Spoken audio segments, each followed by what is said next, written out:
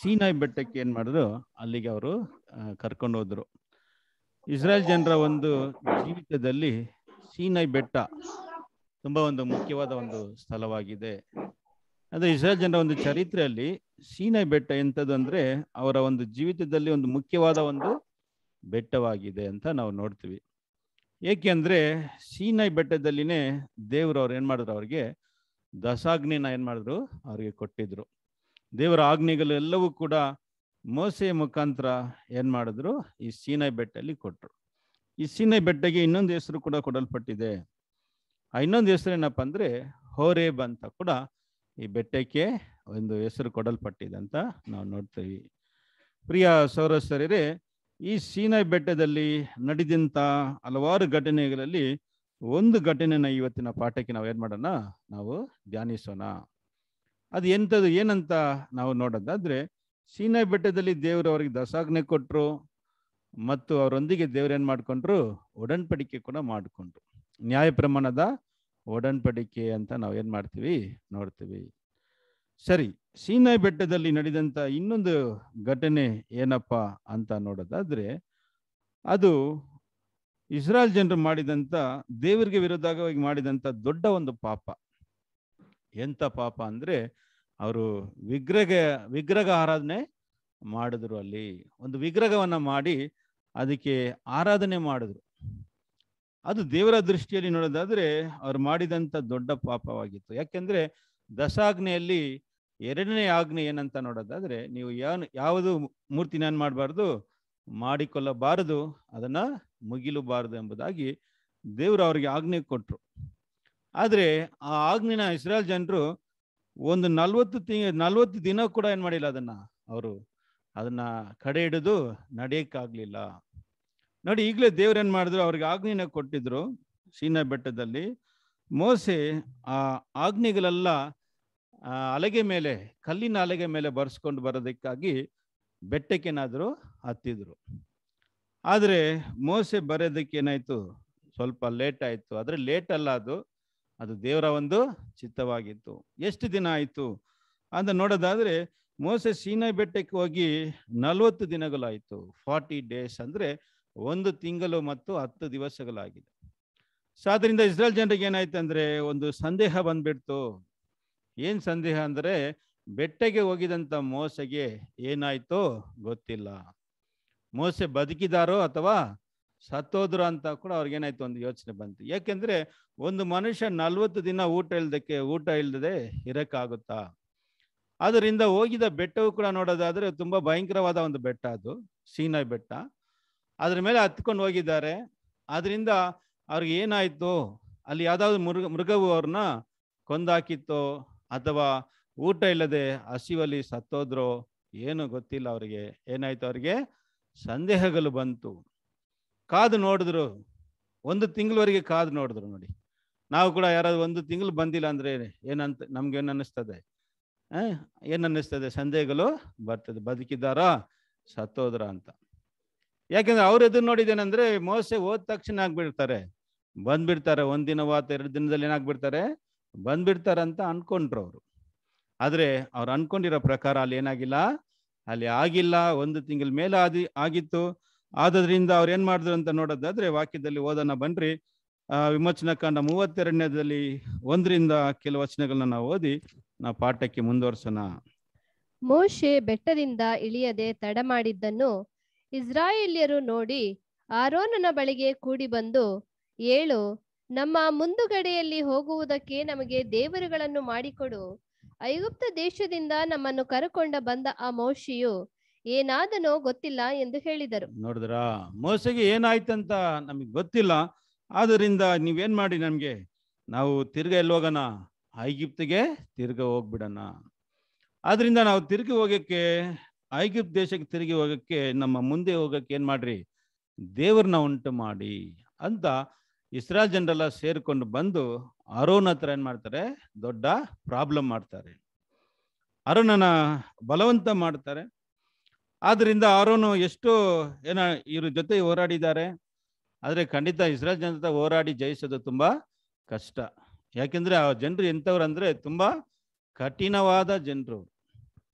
ಏನಾದ್ರೂ ಸ್ವಲ್ಪ ಅವರಿಗೆ ಡಿಸ್ಟರ್ಬ್ ಆಗಿಬಿಟ್ರೆ ಅಷ್ಟೇ ಕಲ್ಲ, ಕೈಯಲ್ಲಿ ಏನು ತಗೊಳ್ತಾರೆ? ಕೈಯಲ್ಲಿ ಕಲ್ಲು ತಗೊಂಡು ಹೊಡೆದಾಗ್ಬಿಡ್ತಾರೆ ಮೋಸೆಗೆ ಹಲವಾರು ಸಾರಿ ಹೊಡಿಯೋಕೆ ಏನ್ ಮಾಡಿದ್ದಾರೆ? ಅವರು ಪ್ರಯತ್ನಗಳು ಪಟ್ಟಿದ್ದಾರೆ ಅಂತ ನಾವು ಬೈಬ್ಲಲ್ಲಿ ಓದಿದ್ದೀವಿ.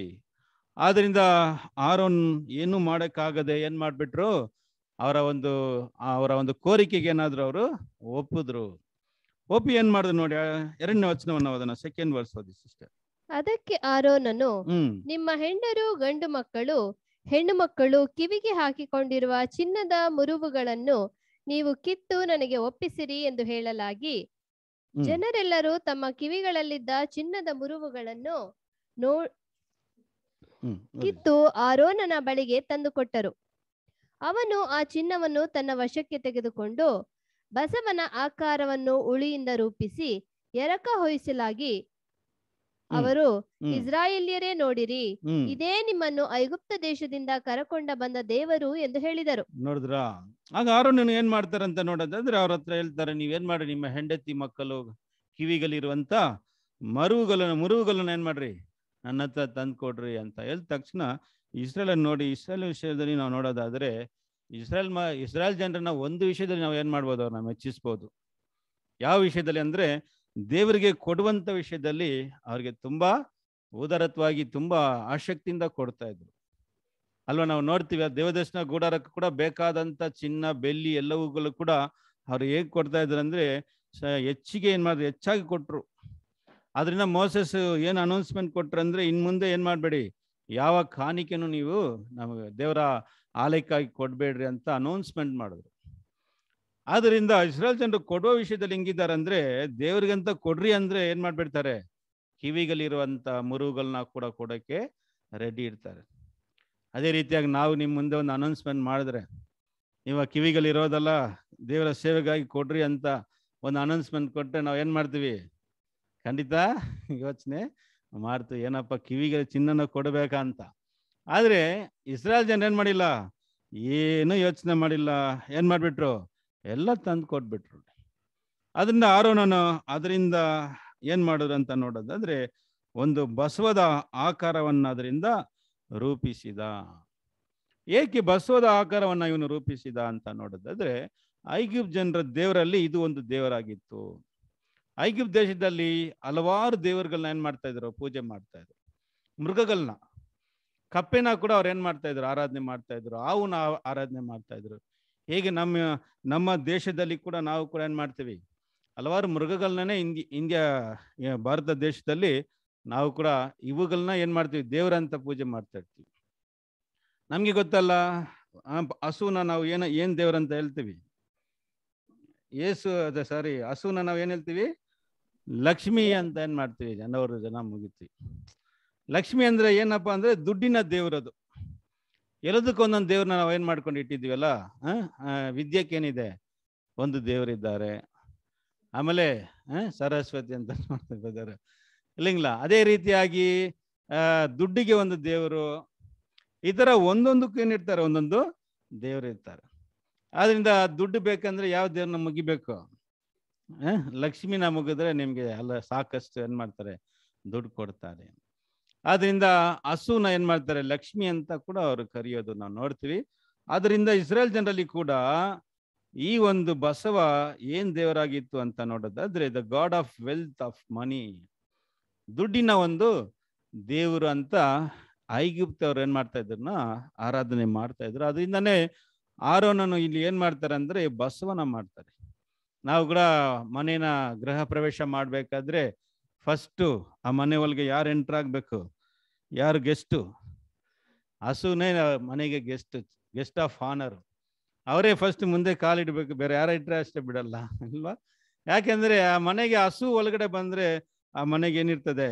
ಒಳ್ಳೆ ದುಡ್ಡು, ಆ ಮನೆ ಒಂದು ಒಳ್ಳೆ ಐಶ್ವರ್ಯವಾಗಿ ಅದು ಆಶೀರ್ವಾದವಂತದಂತ ನಮ್ಮ ಜನರ ಒಂದು ನಂಬಿಕೆ ಆಗಿದೆ. ಸರಿ ಹಾಗೆ ಇವ್ರು ಏನ್ ಮಾಡ್ದಂತ ನೋಡೋದಾದ್ರೆ ಬಸವನ ರೂಪವನ್ನ ರೂಪಿಸಿ ಅದಕ್ಕೆ ಏನ್ ಮಾಡ್ದಂತ ನೋಡೋದಾದ್ರೆ ಅದಕ್ಕೆ ಹಬ್ಬನ ಕೂಡ ಅವ್ರು ಇಟ್ಟಿದ್ರು. ಹಬ್ಬನ ಇಟ್ಟು ಅವ್ರು ಏನ್ ಮಾಡಿದ್ರು ಅದನ್ನ ಒಂದು ದೊಡ್ಡ ಫೆಸ್ಟಿವಲ್ ಆಗಿ ಅದನ್ನ ಅವ್ರು ಕೊಂಡಾಡೋದಂತ ನೋಡ್ತೀವಿ ನೋಡಿ. ನಾಲ್ಕನೇ ವಚನ ಅದು sister fourth verse four and five ಹಂಗೆ ಓದ್ಕೊಂಡು ಬನ್ನಿ. ಅವನು ಆ ಚಿನ್ನ, ಚಿನ್ನವನ್ನು ತನ್ನ ವಶಕ್ಕೆ ತೆಗೆದುಕೊಂಡು ಬಸವನ ಆಕಾರವನ್ನು ಉಳಿಯಿಂದ ರೂಪಿಸಿ ಎರಕ ಹೊಯ್ಸಲಾಗಿ ಅವರು ಇಸ್ರಾಯೇಲಿಯರೇ ನೋಡಿರಿ ಇದೇ ನಿಮ್ಮನ್ನು ಐಗುಪ್ತ ದೇಶದಿಂದ ಕರಕೊಂಡ ಬಂದ ದೇವರು ಎಂದು ಹೇಳಿದರು. ಆರೋನನು ಅದನ್ನು ನೋಡಿ ಬಸವನಿಗೆ ಎದುರಾಗಿ ಯಜ್ಞವೇದಿಯನ್ನು ಕಟ್ಟಿಸಿ ನಾಳೆ ಯಹೋವನಿಗೆ ಉತ್ಸವವಾಗಬೇಕು ಎಂದು ಪ್ರಕಟಿಸಿದನು. ನೋಡಿದ್ರ ನಾಳೆ ಯಹೋವನಿಗೆ ಏನಂತೆ ಉತ್ಸಾಹವ ಉತ್ಸವ ಅಂದ್ರೆ ಫೆಸ್ಟಿವಲ್ ಹಬ್ಬ. ಅಲ್ವಾ ಹಬ್ಬ ಮಾಡ್ತೀವಲ್ಲ ಆ ಹಬ್ಬ ಮಾಡಿದ್ರು ಅಂತ ನಾಳೆ ಹಬ್ಬ ಕೂಡ ಇಟ್ಕೊಂಡ್ರು ಅಂತ ನೋಡ್ತೀವಿ. ಆಮೇಲೆ ನೆಕ್ಸ್ಟ್ ವರ್ಸ್ ಆರನೇ ವಚನವನ್ನು ಕೂಡ ಓದೋಣ. ಸಿಕ್ಸ್ ಓದಿ ಸಿಸ್ಟರ್ ಆದುದರಿಂದ ಮರುದಿನದಲ್ಲಿ ಜನರು ಬೆಳಗ್ಗೆ ಎದ್ದು ಸರ್ವಾಂಗ ಹೋಮಗಳನ್ನು ಸಮಾಧಾನ ಯಜ್ಞಗಳನ್ನು ಸಮರ್ಪಿಸಿದರು. ಜನರು ಉಣ್ಣುವುದಕ್ಕೂ ಕುಡಿಯುವುದಕ್ಕೂ ಕೂತುಕೊಂಡರು ಆಮೇಲೆ ಎದ್ದು ಕುಣಿದಾಡಿದರು. ನೋಡಿದ್ರ? ಇಲ್ಲಿ ಕೂಡ ನೋಡ್ತೀವಿ ಅವರು ಉಣ್ಣುವುದಕ್ಕೂ ಕುಡಿಯುವುದಕ್ಕೂ ಕೂತುಕೊಂಡು ಆಮೇಲೆ ಏನಾದ್ರಂತೆ ಎದ್ದು ಕುಣಿದಾಡಿದ್ರು. ಏನಂತ ನೋಡೋದಾದ್ರೆ ಕುಣಿದಾಡ್ರು ಅಂದ್ರೆ ಏನಪ್ಪಾ ಅಂತ ನೋಡೋದಾದ್ರೆ ನಾವು ನೋಡ್ತೀವಲ್ಲ ಜಾತ್ರೆಗಳಲ್ಲಿ, ನಾವು ಹಬ್ಬಗಳಲ್ಲಿ ಏನಿರ್ತಾರೆ ಅಲ್ಲಿ ಗೇಮ್ಸ್ಗಳೆಲ್ಲ ಇಡ್ತಾರಲ್ಲ, ಆ ರೀತಿಯಾಗಿ ಇವರು ಹಬ್ಬ ಮಾಡಿ ಅದಕ್ಕೆ ಏನಾಗ್ತಾ ಇದ್ದಾರೆ ಅದನ್ನ ಕುಣಿದಾಡರು ಅಂತ ನಾವು ನೋಡ್ತೀವಿ. ಕರೆಕ್ಟಾಗಿ ಅವತ್ತು ಏನಾಗ್ತಾರೆ, ಮೋಸೆ ಬೆಟ್ಟದಿಂದ ಏನಾಗ್ತಾರೆ, ಇಳಿದು ಕೆಳಗೆ ಬರ್ತಾರೆ ಅವತ್ತು. ಇವರು ಅದಕ್ಕೆ ಅದಕ್ಕೆ ಯಜ್ಞ, ಯಜ್ಞವನ್ನ ಸಲ್ಲಿಸಿ ಅದನ್ನ ಉತ್ಸಾಹದಿಂದ ಕೊಂಡಾಡ್ತಾ ಇರಬೇಕಾದ್ರೆ ಮೋಸ ಏನಾಗ್ತಾರೆ ಅಂದ್ರೆ ಅಲ್ಲಿಂದ ಇಳಿದು ಬರ್ತಾರೆ. ನೋಡಿ ಇವಾಗ ಏಳನೇ ವಚನದಿಂದ ಕೆಲವು ವಚನಗಳು ನಾವು ಓದ್ರಿ ಹೀಗಿರಲಾಗಿ ಯಹೋವನು ಮೋಶೆಗೆ ನೀನು ಬೆಟ್ಟದಿಂದ ಇಳಿದು ಹೋಗು. ಐಗುಪ್ತ ದೇಶದಿಂದ ನೀನು ಕರ್ಕೊಂಡ ಬಂದ ನಿನ್ನ ಜನರು ಕೆಟ್ಟು ಹೋದರು. ನಾನು ಅವರಿಗೆ ಆಜ್ಞಾಪಿಸಿದ ಮಾರ್ಗವನ್ನು ಅವರು ಬೇಗನೆ ಬಿಟ್ಟು ಹೋಗಿ ತಮಗೆ ಲೋಹದ ಬಸವನನ್ನು ಮಾಡಿಕೊಂಡು ಅದಕ್ಕೆ ಅಡ್ಡ ಬಿದ್ದು ಯಜ್ಞಗಳನ್ನು ಅರ್ಪಿಸಿ ಇಸ್ರಾಯೇಲ್ಯರೇ ನೋಡಿರಿ ಇದೇ ನಿಮ್ಮನ್ನು ಐಗುಪ್ತ ದೇಶದಿಂದ ಕರಕೊಂಡ ಬಂದ ದೇವರು ಎಂದು ಹೇಳಿಕೊಳ್ಳುತ್ತಿದ್ದಾರೆ ಎಂದು ಹೇಳಿದನು. ನೋಡಿದ್ರ ಈಗ ದೇವರು ಮೋಸಗೆ ಹೇಳ್ತಾರೆ ನೋಡು ನೀನು ಐಗುಪ್ತ ದೇಶದಿಂದ ಕರೆದುಕೊಂಡು ಬಂದಂತ ನಿನ್ನ ಜನ ಅಂತ ಹೇಳ್ತಾ ಇದ್ದಾರೆ. ದೇವ್ರು ಏನ್ ಹೇಳ್ತಾರೆ ನೋಡಿ, ಐಗುಪ್ತ ದೇಶದಿಂದ ಕರೆದುಕೊಂಡು ಬಂದಿದ್ದು ಯಾರು ಅಂತ ನೋಡೋದಾದ್ರೆ ದೇವ್ರೆ. ಆದ್ರೆ ದೇವ್ರು ಯಾರ ಮೇಲೆ ಹೇಳ್ತಾರೆ ಅಂದ್ರೆ ಮೋಸಗೆ ಹೇಳ್ತಾರೆ, ನೀನು ಕರೆದುಕೊಂಡಂತ ಜನರು ಮತ್ತೆ ನಿನ್ನ ಜನರು ಏನ್ ಮಾಡ್ಕೊಂಡ್ರು? ತುಂಬಾ ಬೇಗನೆ ನಾನು ಕೊಟ್ಟಂತ ಆಜ್ಞೆನ ಅವ್ರು ಮೀರಿದ್ರು. ಅಲ್ವಾ? ಏನ್ ಆಜ್ಞೆ ಕೊಟ್ರಲ್ಲ? ಯಾವ ಒಂದು ವಿಗ್ರಹನ ನೀನು ಮಾಡಬಾರದು ಎಂಬ ಒಂದು ಆಜ್ಞೆನ ಕೊಟ್ಟಿದ್ದಾಗ ಆಗ ಅವ್ರು ಏನು ಮಾಡಿದ್ರು ಅಂತ ನೋಡ್ಬೇಕಾದ್ರೆ, ಆ, ದೇವ್ರು ಹೇಳಿ ಕಳಿಸ್ತಾರೆ. ದೇವ್ರಿಗೆ ತುಂಬಾನೇ ಒಂದು ಕೋಪ ಆಯ್ತು ಇವ್ರ ಮೇಲೆ.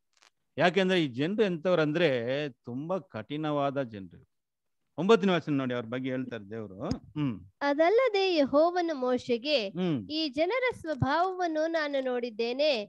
ಇವರು ನನ್ನ ಆಜ್ಞೆಗೆ ಬಗ್ಗದವರಾಗಿದ್ದಾರೆ. ಆದ ಕಾರಣ ನೀನು ನನ್ನನ್ನು ತಡೆಯಬೇಡ. ನನ್ನ ಕೋಪಾಗ್ನಿ ಉರಿಯಲಿ. ಅವರನ್ನು ಭಸ್ಮ ಮಾಡುವೆನು. ತರುವಾಯ ನಿನ್ನಿಂದಲೇ ಬೇರೆ ಒಂದು ದೊಡ್ಡ ಜನಾಂಗ ಉಂಟಾಗುವಂತೆ ಮಾಡುವೆನು ಎಂದು ಹೇಳಿದನು. ನೋಡಿದ್ರ? ಈ ಜನರು ನನ್ನ ಆಜ್ಞೆಗಳಿಗೆ ಏನಾಗಲ್ಲ ಇವರು. ಬಗ್ಗಲ್ಲ ಇವರು. ಆದ್ರಿಂದ ಏನ್ ಮಾಡೋಣ ಅಂತ ನೋಡೋದಾದ್ರೆ ನನ್ನನ್ನ ಬಿಟ್ಟು ಬಿಡು ನಾನು ಇವ್ರನ್ನ ಏನ್ ಮಾಡ್ಬಿಡ್ತೀನಿ. ಇವ್ರನ್ನ ಕೊಂದಾಕ್ಬಿಡ್ತೀನಿ. ಬಸವ ಮಾಡ್ಬಿಡ್ತೀನಿ ಅಂದ್ಬಿಟ್ಟು. ಯಾಕೆಂದ್ರೆ ದೇವರಿಗೆ ತುಂಬಾ ಕೋಪ ಬರುವಂತ ವಿಷಯ ಏನಂತ ನೋಡೋದಾದ್ರೆ ವಿಗ್ರಹ ಆರಾಧನೆ ಮಾಡೋದು. ಅದನ್ನೇ ನಾವು ಆಜ್ಞೆ ಕೊಡ್ಬೇಕಾದ್ರೆ ದೇವ್ರು ಹೇಳ್ತಾರೆ, ಯಾರಾದ್ರೂ ನನಗೆ ವಿಗ್ರಹ ಆರಾಧನೆ ಮಾಡೋರ ವಿಷಯದಲ್ಲಿ ದೇವರು ಮೂರನೇ, ನಾಲ್ನೇ ತಲಾಂತರಕ್ಕೆ ಏನ್ ಮಾಡ್ತೀನಿ ಅದನ್ನ ವಿಚಾರಿಸುತ್ತೇನೆ ಅಂತಾಗಿ ದೇವ್ರು ಏನ್ ಮಾಡ್ತಾರೆ ಹೇಳ್ತಾರೆ. ಹಂಗ ದೇವರ ರೂಪವನ್ನ ಮೃಗಕ್ಕೂ ಬೇರೆ ಯಾವುದಕ್ಕೂ ಹೋಲಿಕೆ ಮಾಡೋದಕ್ಕೆ ಸಾಧ್ಯ ಇಲ್ಲ. ಯಾಕೆಂದ್ರೆ ಅವ್ರು ಯಾವುದಕ್ಕೂ ಹೋಲಿಕೆ ಆಗೋದವರು ಅಲ್ಲ. ಆದ್ರಿಂದ ಮೋಸೆ ಹತ್ರ ದೇವ್ರು ಹೇಳ್ತಾರೆ, ನನ್ನ ಬಿಟ್ಟು ಬಿಡು ಅಂತ. ಇವ್ರನ್ನ ಏನ್ ಮಾಡ್ಬಿಡ್ತೀನಿ? ಇವ್ರನ್ನ ಅಳಿಸ್ಬಿಡ್ತೀನಿ ಅಂತ ಹೇಳ್ಬೇಕಾದ್ರೆ, ಮೋಸೆ ನೋಡಿ ಎಂತ ಒಂದು ಒಳ್ಳೆ ಲೀಡರ್ ಆಗಿದ್ರು. ಒಂದು ಒಳ್ಳೆ ಲೀಡರ್ ನೋಡಿ ಈ ತರನೇ ಇರಬೇಕು. ನೋಡ್ರಿ ಒಂದು ಒಳ್ಳೆ ಲೀಡ್ರು ಏನಂತ ದೇವ್ರ ಹತ್ರ ಕೇಳ್ಕೊಳ್ತಾರೆ ನೋಡಿ ಮೋಸೆ ಅದಕ್ಕೆ ದೇವರ ಮನೆಯಲ್ಲಿ ಎಂಥವರಾಗಿದ್ರು ಅಂತ ನೋಡ್ತೀವಲ್ಲ? ದೇವರ ಮನೆಯಲ್ಲಿ ಅವರು ನಂಬಿಕೆಸ್ದಂಥ ಒಂದು ಸೇವಕನಾಗಿದ್ರು ಕಾರಣ ಏನಪ್ಪಾ ಅಂದ್ರೆ ಮೋಸೆ ಮನಸ್ಸು ಆ ಥರ ಇತ್ತು. ಅದರಿಂದನೇ ದೇವರಿಗೆ ಮೋಸೆ ಮೇಲೆ ತುಂಬಾನೇ ಆಸೆ. ಅದರಿಂದನೇ ಮೋಸೆ ಹತ್ರ ದೇವರು ಹೆಂಗೆ ಮಾತಾಡ್ತಾ ಇದ್ರಂದ್ರೆ ಒಂದು ಸ್ನೇಹಿನ ಹತ್ರ, ಒಂದು ಫ್ರೆಂಡ್ ಹತ್ರ ಮಾತಾಡೋ ರೀತಿಯಾಗಿ ಮಾತಾಡ್ತಾ ಇದ್ರು. ತುಂಬಾ ಕ್ಲೋಸ್ ಇಬ್ರು ಅದೇ ರೀತಿಯಾಗಿ ಮೋಸೆಗಿನ ವಿಷಯದಲ್ಲಿ ನಾವು ನೋಡೋದಾದ್ರೆ ಅವ್ರು ನಂಬಿಕೆಸ್ತನಾಗಿದ್ರು ಅಂತ ಕೂಡ ನಾವು ಏನು ಮಾಡ್ತೀವಿ ದೇವರ ಮನೆಯಲ್ಲಿ? ಅವ್ರ ಬಗ್ಗೆ ಹೇಳ್ತಾರೆ. ಅದರಿಂದನೇ ಮೋಸೆ ಬಗ್ಗೆ ಯಾರಾದರೂ ಏನಾದ್ರೂ ತಪ್ಪು ಮಾತಾಡಿದ್ರೆ ದೇವ್ರು ಏನು ಮಾಡಲ್ಲ? ಬಿಡಲ್ಲ. ಅಲ್ವಾ ನಾವು ನೋಡ್ತೀವಲ್ಲ, ಯಾರಾದರೂ ಮಾತಾಡಿದಾರ ಮೋಸೆ ಬಗ್ಗೆ ತಪ್ಪಾಗಿ ಅಂತ ನೋಡೋದಾದ್ರೆ ಒಂದು ಸಾರಿ ಅರುಣ್ ಮತ್ತು ಮಿರಿಯಂ ಏನು ಮಾಡ್ತಾರೆ? ಮೋಸೆ ವಿಷಯವಾಗಿ ತಪ್ಪಾದ ಮಾತುಗಳನ್ನ ಆಡ್ತಾರೆ. ತಕ್ಷಣ ದೇವ್ರಿಗೆ ಎಷ್ಟು ಕೋಪ ಬಂದ್ಬಿಡ್ತಲ್ಲ? ಏನ್ ಮಾಡಿದ್ರು ದೇವರು ಅವ್ರನ್ನ ಏನ್ ಮಾಡಿದ್ರು? ಕುಷ್ಠರೋಗವನ್ನ ಬರ ಮಾಡಿದ್ರು. ಮಿರಿಯಂಗೆ ಕುಷ್ಠರೋಗ ಬಂದ್ಬಿಡ್ತು ತಕ್ಷಣನೇ. ಆದ್ರೂ ಕೂಡ ದೇವರು ಮೋಸೆ ಮಿರಿಯಂಗೋಸ್ಕರ ಪ್ರಾರ್ಥನೆ ಮಾಡಿದ ಕಾರಣ ದೇವರು ಅವ್ರನ್ನ ಶ್ರಮಿಸಿದ್ರು ಏಳು ದಿನ ಅವಳು ಕುಷ್ಠರೋಗಿಯಾಗಿದ್ದು ಅವಳು ಪಾಲಕ್ಕೆ ಹೊರಗಡೆ ಇದ್ಲು ಅಂತ ಕೂಡ ನಾವು ನೋಡ್ತೀವಿ. ಅಲ್ಲಿ ಕೂಡ ದೇವರು ಮಿರಿಯಂ ಬಗ್ಗೆ ಹೇಳ್ಬೇಕಾದ್ರೆ ಒಂದು ಮಾತನ್ನ ಹೇಳ್ತಾರೆ. ಮಿರಿಯಂಗೆ ಅಷ್ಟು ನಾಚಿಕೆ ಆಗ್ಬೇಕಂತ ಒಂದು ಮಾತನ್ನ ಹೇಳ್ತಾರೆ. ಅಲ್ಲಿ ಮುಖಕ್ಕೆ ಏನು ಮಾಡಬೇಕು? ಉಗಿಬೇಕು ಅಂತ ದೇವ್ರು ಹೇಳ್ತಾರೆ. ಯಾಕೆಂದ್ರೆ ನನ್ನ ದಾಸನ ಬಗ್ಗೆ ಇವ್ರು ಮಾತಾಡೋದಕ್ಕೆ ಎಷ್ಟು? ಧೈರ್ಯ ಇರಬೇಕು ಇವರಿಗೆ ಅಂತ. ನೋಡಿ, ಅಂತ ಒಂದು ಸೇವಕನೇ ಈ ಮೋಸೆ. ಆದ್ರಿಂದ ಇವಾಗ ಏನು ಹೇಳ್ತಾರೆ ನೋಡಿ ಮೋಸೆ ಮಾತಿಗೆ ದೇವ್ರು ಏನಾಗ್ತಾರೆ? ದೇವರು ಮೋಸೆ ಮಾತನ್ನ ಕೇಳಿ ತನ್ನ ಕೋಪವನ್ನ ಏನು ಮಾಡ್ಕೊಳ್ತಾರೆ? ಆ, ಮಾರ್ಪಡಿಸ್ಕೊಳ್ತಾರೆ. ಬನ್ನಿ ಹೋದನ ಹಂಗೆ. ಹನ್ನೊಂದನೇ ವಚನ ಹೋದ್ರಿ ಸಿಸ್ಟರ್. ಈಗ ಮೋಸೆ ದೇವರ ಒಂದು ಕೋಪವನ್ನ ಹೇಗೆ ಶಾಂತಪಡಿಸ್ತಾರೆ? ಕಂಟಿನ್ಯೂ ಮಾಡೋಣ. ಲೆವೆನ್ ಆಗ ಮೋಶೆ ತನ್ನ ದೇವರಾದ ಯಹೋವನನ್ನು ಬೇಡಿಕೊಂಡು ಯಹೋವನೇ ನೀನು ಮಹಾಶಕ್ತಿಯಿಂದಲೂ ಭುಜಬಲದಿಂದಲೂ ಐಗುಪ್ತ ದೇಶದಿಂದ ಬಿಡಿಸಿದ ನಿನ್ನ ಪ್ರಜೆಗಳ ಮೇಲೆ ಕೋಪದಿಂದುರಿಯುವುದೇಕೆ? ಐಗುಪ್ತರು ನಿನ್ನ ವಿಷಯದಲ್ಲಿ ಯಹೋವನು ಕೇಡು ಮಾಡಬೇಕೆಂಬ ಅಭಿಪ್ರಾಯದಿಂದಲೇ ಇಸ್ರಾಯೇಲರನ್ನು ಇಲ್ಲಿಂದ ಕರಕೊಂಡು ಹೋದನಲ್ಲ. ಅವರನ್ನು ಅವರನ್ನು ಬೆಟ್ಟಗಳಲ್ಲಿ ಸಾಯಿಸಿ ಭೂಮಿಯಲ್ಲಿ ಉಳಿಯದಂತೆ ನಿರ್ಮೂಲ ಮಾಡುವುದಕ್ಕೇನೆ ಅವರನ್ನು ಕರಕೊಂಡು ಹೋದನೆಂದು ಹೇಳುವುದಕ್ಕೆ ಆಸ್ಪದವಾಗಬೇಕೇ? ನೀನು ರೋಷಾಗ್ನಿಯನ್ನು ಬಿಟ್ಟು ನಿನ್ನ ಪ್ರಜೆಗಳಿಗೆ ಕೆಡುಕನ್ನು ಮಾಡದೆ ಮನಸ್ಸನ್ನು ಬೇರೆ ಮಾಡಿಕೋ. ನೋಡಿದ್ರ, ಮೋಸೆ, ದೇವರಿಗೆ ಏನನ್ನ ನೆನಪು ಮಾಡ್ತಾರೆ ಅಂತ ನೋಡೋದಾದ್ರೆ ದೇವ್ರ ಹತ್ರ ಹೇಳ್ತಾರೆ, ದೇವ್ರೇ, ಮೋಸೆ ಬಗ್ಗೆ ನಾವಾಗ ಹೋದ್ರು, ದೇವ್ರು ಏನ್ ಹೇಳಿದ್ರು ಮೋಸೆ ಅಂತಾರೆ, ಮೋಸೆ ಹತ್ರ ಏನ್ ಹೇಳಿದ್ರು, ನಿನ್ನ ಜನರು ನೀನು ಕರ್ಕೊಂಡು ಬಂದಂತ ನಿನ್ನ ಜನರು ಅಂತ ಹೇಳಿದ್ರು. ಆದರೆ ಮೋಸೆಗೆ ಹೇಳ್ತಾರೆ ಅಂದರೆ ದೇವ್ರ ಹತ್ರ ಹೇಳ್ತಾರೆ, ಅವ್ರು ನಾನು ಕರ್ಕೊಂಡು ಬಂದಂಥವ್ರಲ್ಲ ನೀವು ಕರ್ಕೊಂಡು ಬಂದಂಥ ಜನರು, ಮತ್ತೆ ನಿಮ್ಮ ಜನರು, ಸೈ ಇವ್ರನ್ನ ಇವಾಗ ನೀವು ಇವ್ರನ್ನ ಅಳಿಸ್ಬಿಟ್ರೆ ಐಗಿಪ್ ದೇಶದವರು ನಿಮ್ಮ ಬಗ್ಗೆ ಏನು ಮಾಡ್ತಾರೆ, ತಪ್ಪಾಗಿ ಮಾತಾಡ್ತಾರೆ.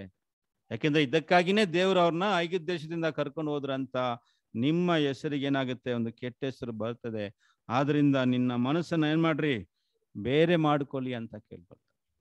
ಅದು ಮಾತ್ರ ಅಲ್ಲವದೆ ಇನ್ನೊಂದು ವಿಷಯವನ್ನ ದೇವರು ಮೋಸೆ ದೇವರಿಗೆ ನೆನಪು ಮಾಡ್ತಾರೆ. ಅಂತ ವಿಷಯ, ಅದು ಏನಪ್ಪಾ ಅಂತ ನೋಡೋದಾದ್ರೆ ಹದಿಮೂರನೇ ವಚನ ಹೋದ್ರಿ ನೋಡ್ರಿ ತರ್ಟೀನ್ತ್ ವರ್ಷ ಓದಿ ಸಿಸ್ಟರ್ ನಿನ್ನ ಸೇವಕರಾದ ಅಬ್ರಹಾಂ, ಈಸಾಕ್, ಯಾಕೋಬರನ್ನು ನೆನಪಿಗೆ ತಂದುಕೋ.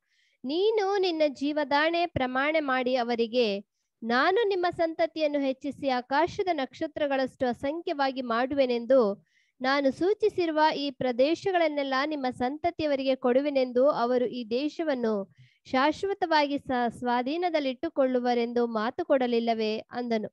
ನೋಡಿದ್ರ? ಆಗ ಮೋಸೆ ಯಾವ ವಿಷಯವನ್ನ ದೇವರಿಗೆ ನೆನಪು ಮಾಡ್ತಾರಂದ್ರೆ ದೇವರು ಅಬ್ರಹಾಮನಿಗೆ ಮಾಡಿದಂತ ವಾಗ್ದಾನ. ಅಲ್ವಾ ದೇವರು ಅಬ್ರಹಾಮ್ಗೆ ವಾಗ್ದಾನ ಮಾಡಿದ್ರಲ್ಲ? ನಿನ್ನ ಸಂತತಿಯನ್ನ ಆಕಾಶದ ನಕ್ಷತ್ರದಂತೆಯೂ ಕ, ಸಮುದ್ರದ ಮರಳಿನಂತೆಯೂ ನಾನು ಹೆಚ್ಚಿಸುತ್ತೇನೆ ಎಂಬುದಾಗಿ ದೇವರು ಮಾಡಿದಂತ ಆ ವಾಗ್ದಾನವನ್ನ ದೇವರಿಗೆ ಏನ್ ಮಾಡ್ತಾರೆ, ನೆನಪು ಮಾಡ್ತಾರೆ. ಅವಾಗಲೇ ದೇವರ ಒಂದು ಕೋಪವು ಏನಾಯ್ತು ಅಂತ ನೋಡೋದಾದ್ರೆ, ಅವರ ದೇವ ಕೋಪ ಕಡಿಮೆಯಾಗಿ ದೇವರು ಅವ್ರನ್ನ ಮನಸ್ಸನ್ನ ಏನ್ ಮಾಡ್ಕೊಂಡ್ರು, ಮಾರ್ಪಡಿಸ್ಕೊಂಡ್ರು. ಇಲ್ಲವಾದ್ರೆ ಅವತ್ತೇ ಇಸ್ರಾಲ್ ಜನರನ್ನ ದೇವ್ರು ಏನ್ ಮಾಡ್ತಾ ಇದ್ರು, ಅಲ್ಲಿ ಅಳಿಸ್ತಾ ಇದ್ರು. ಅದು ಮಾತ್ರ ಅಲ್ಲ ಮೋಸೆ ದೇವರಿಗೋಸ್ಕರ ಇನ್ನೊಂದು ಪ್ರಾರ್ಥನೆಯನ್ನ ಸಲ್ಲಿಸ್ತಾರೆ ನೋಡ್ರಿ ಅದರಲ್ಲಿ ಮೂವತ್ತೆರಡನೇ ವಚನ ಹೋದ್ರೆ ಏನ್ ಹೇಳ್ತಾರೆ ನೋಡ್ರಿ?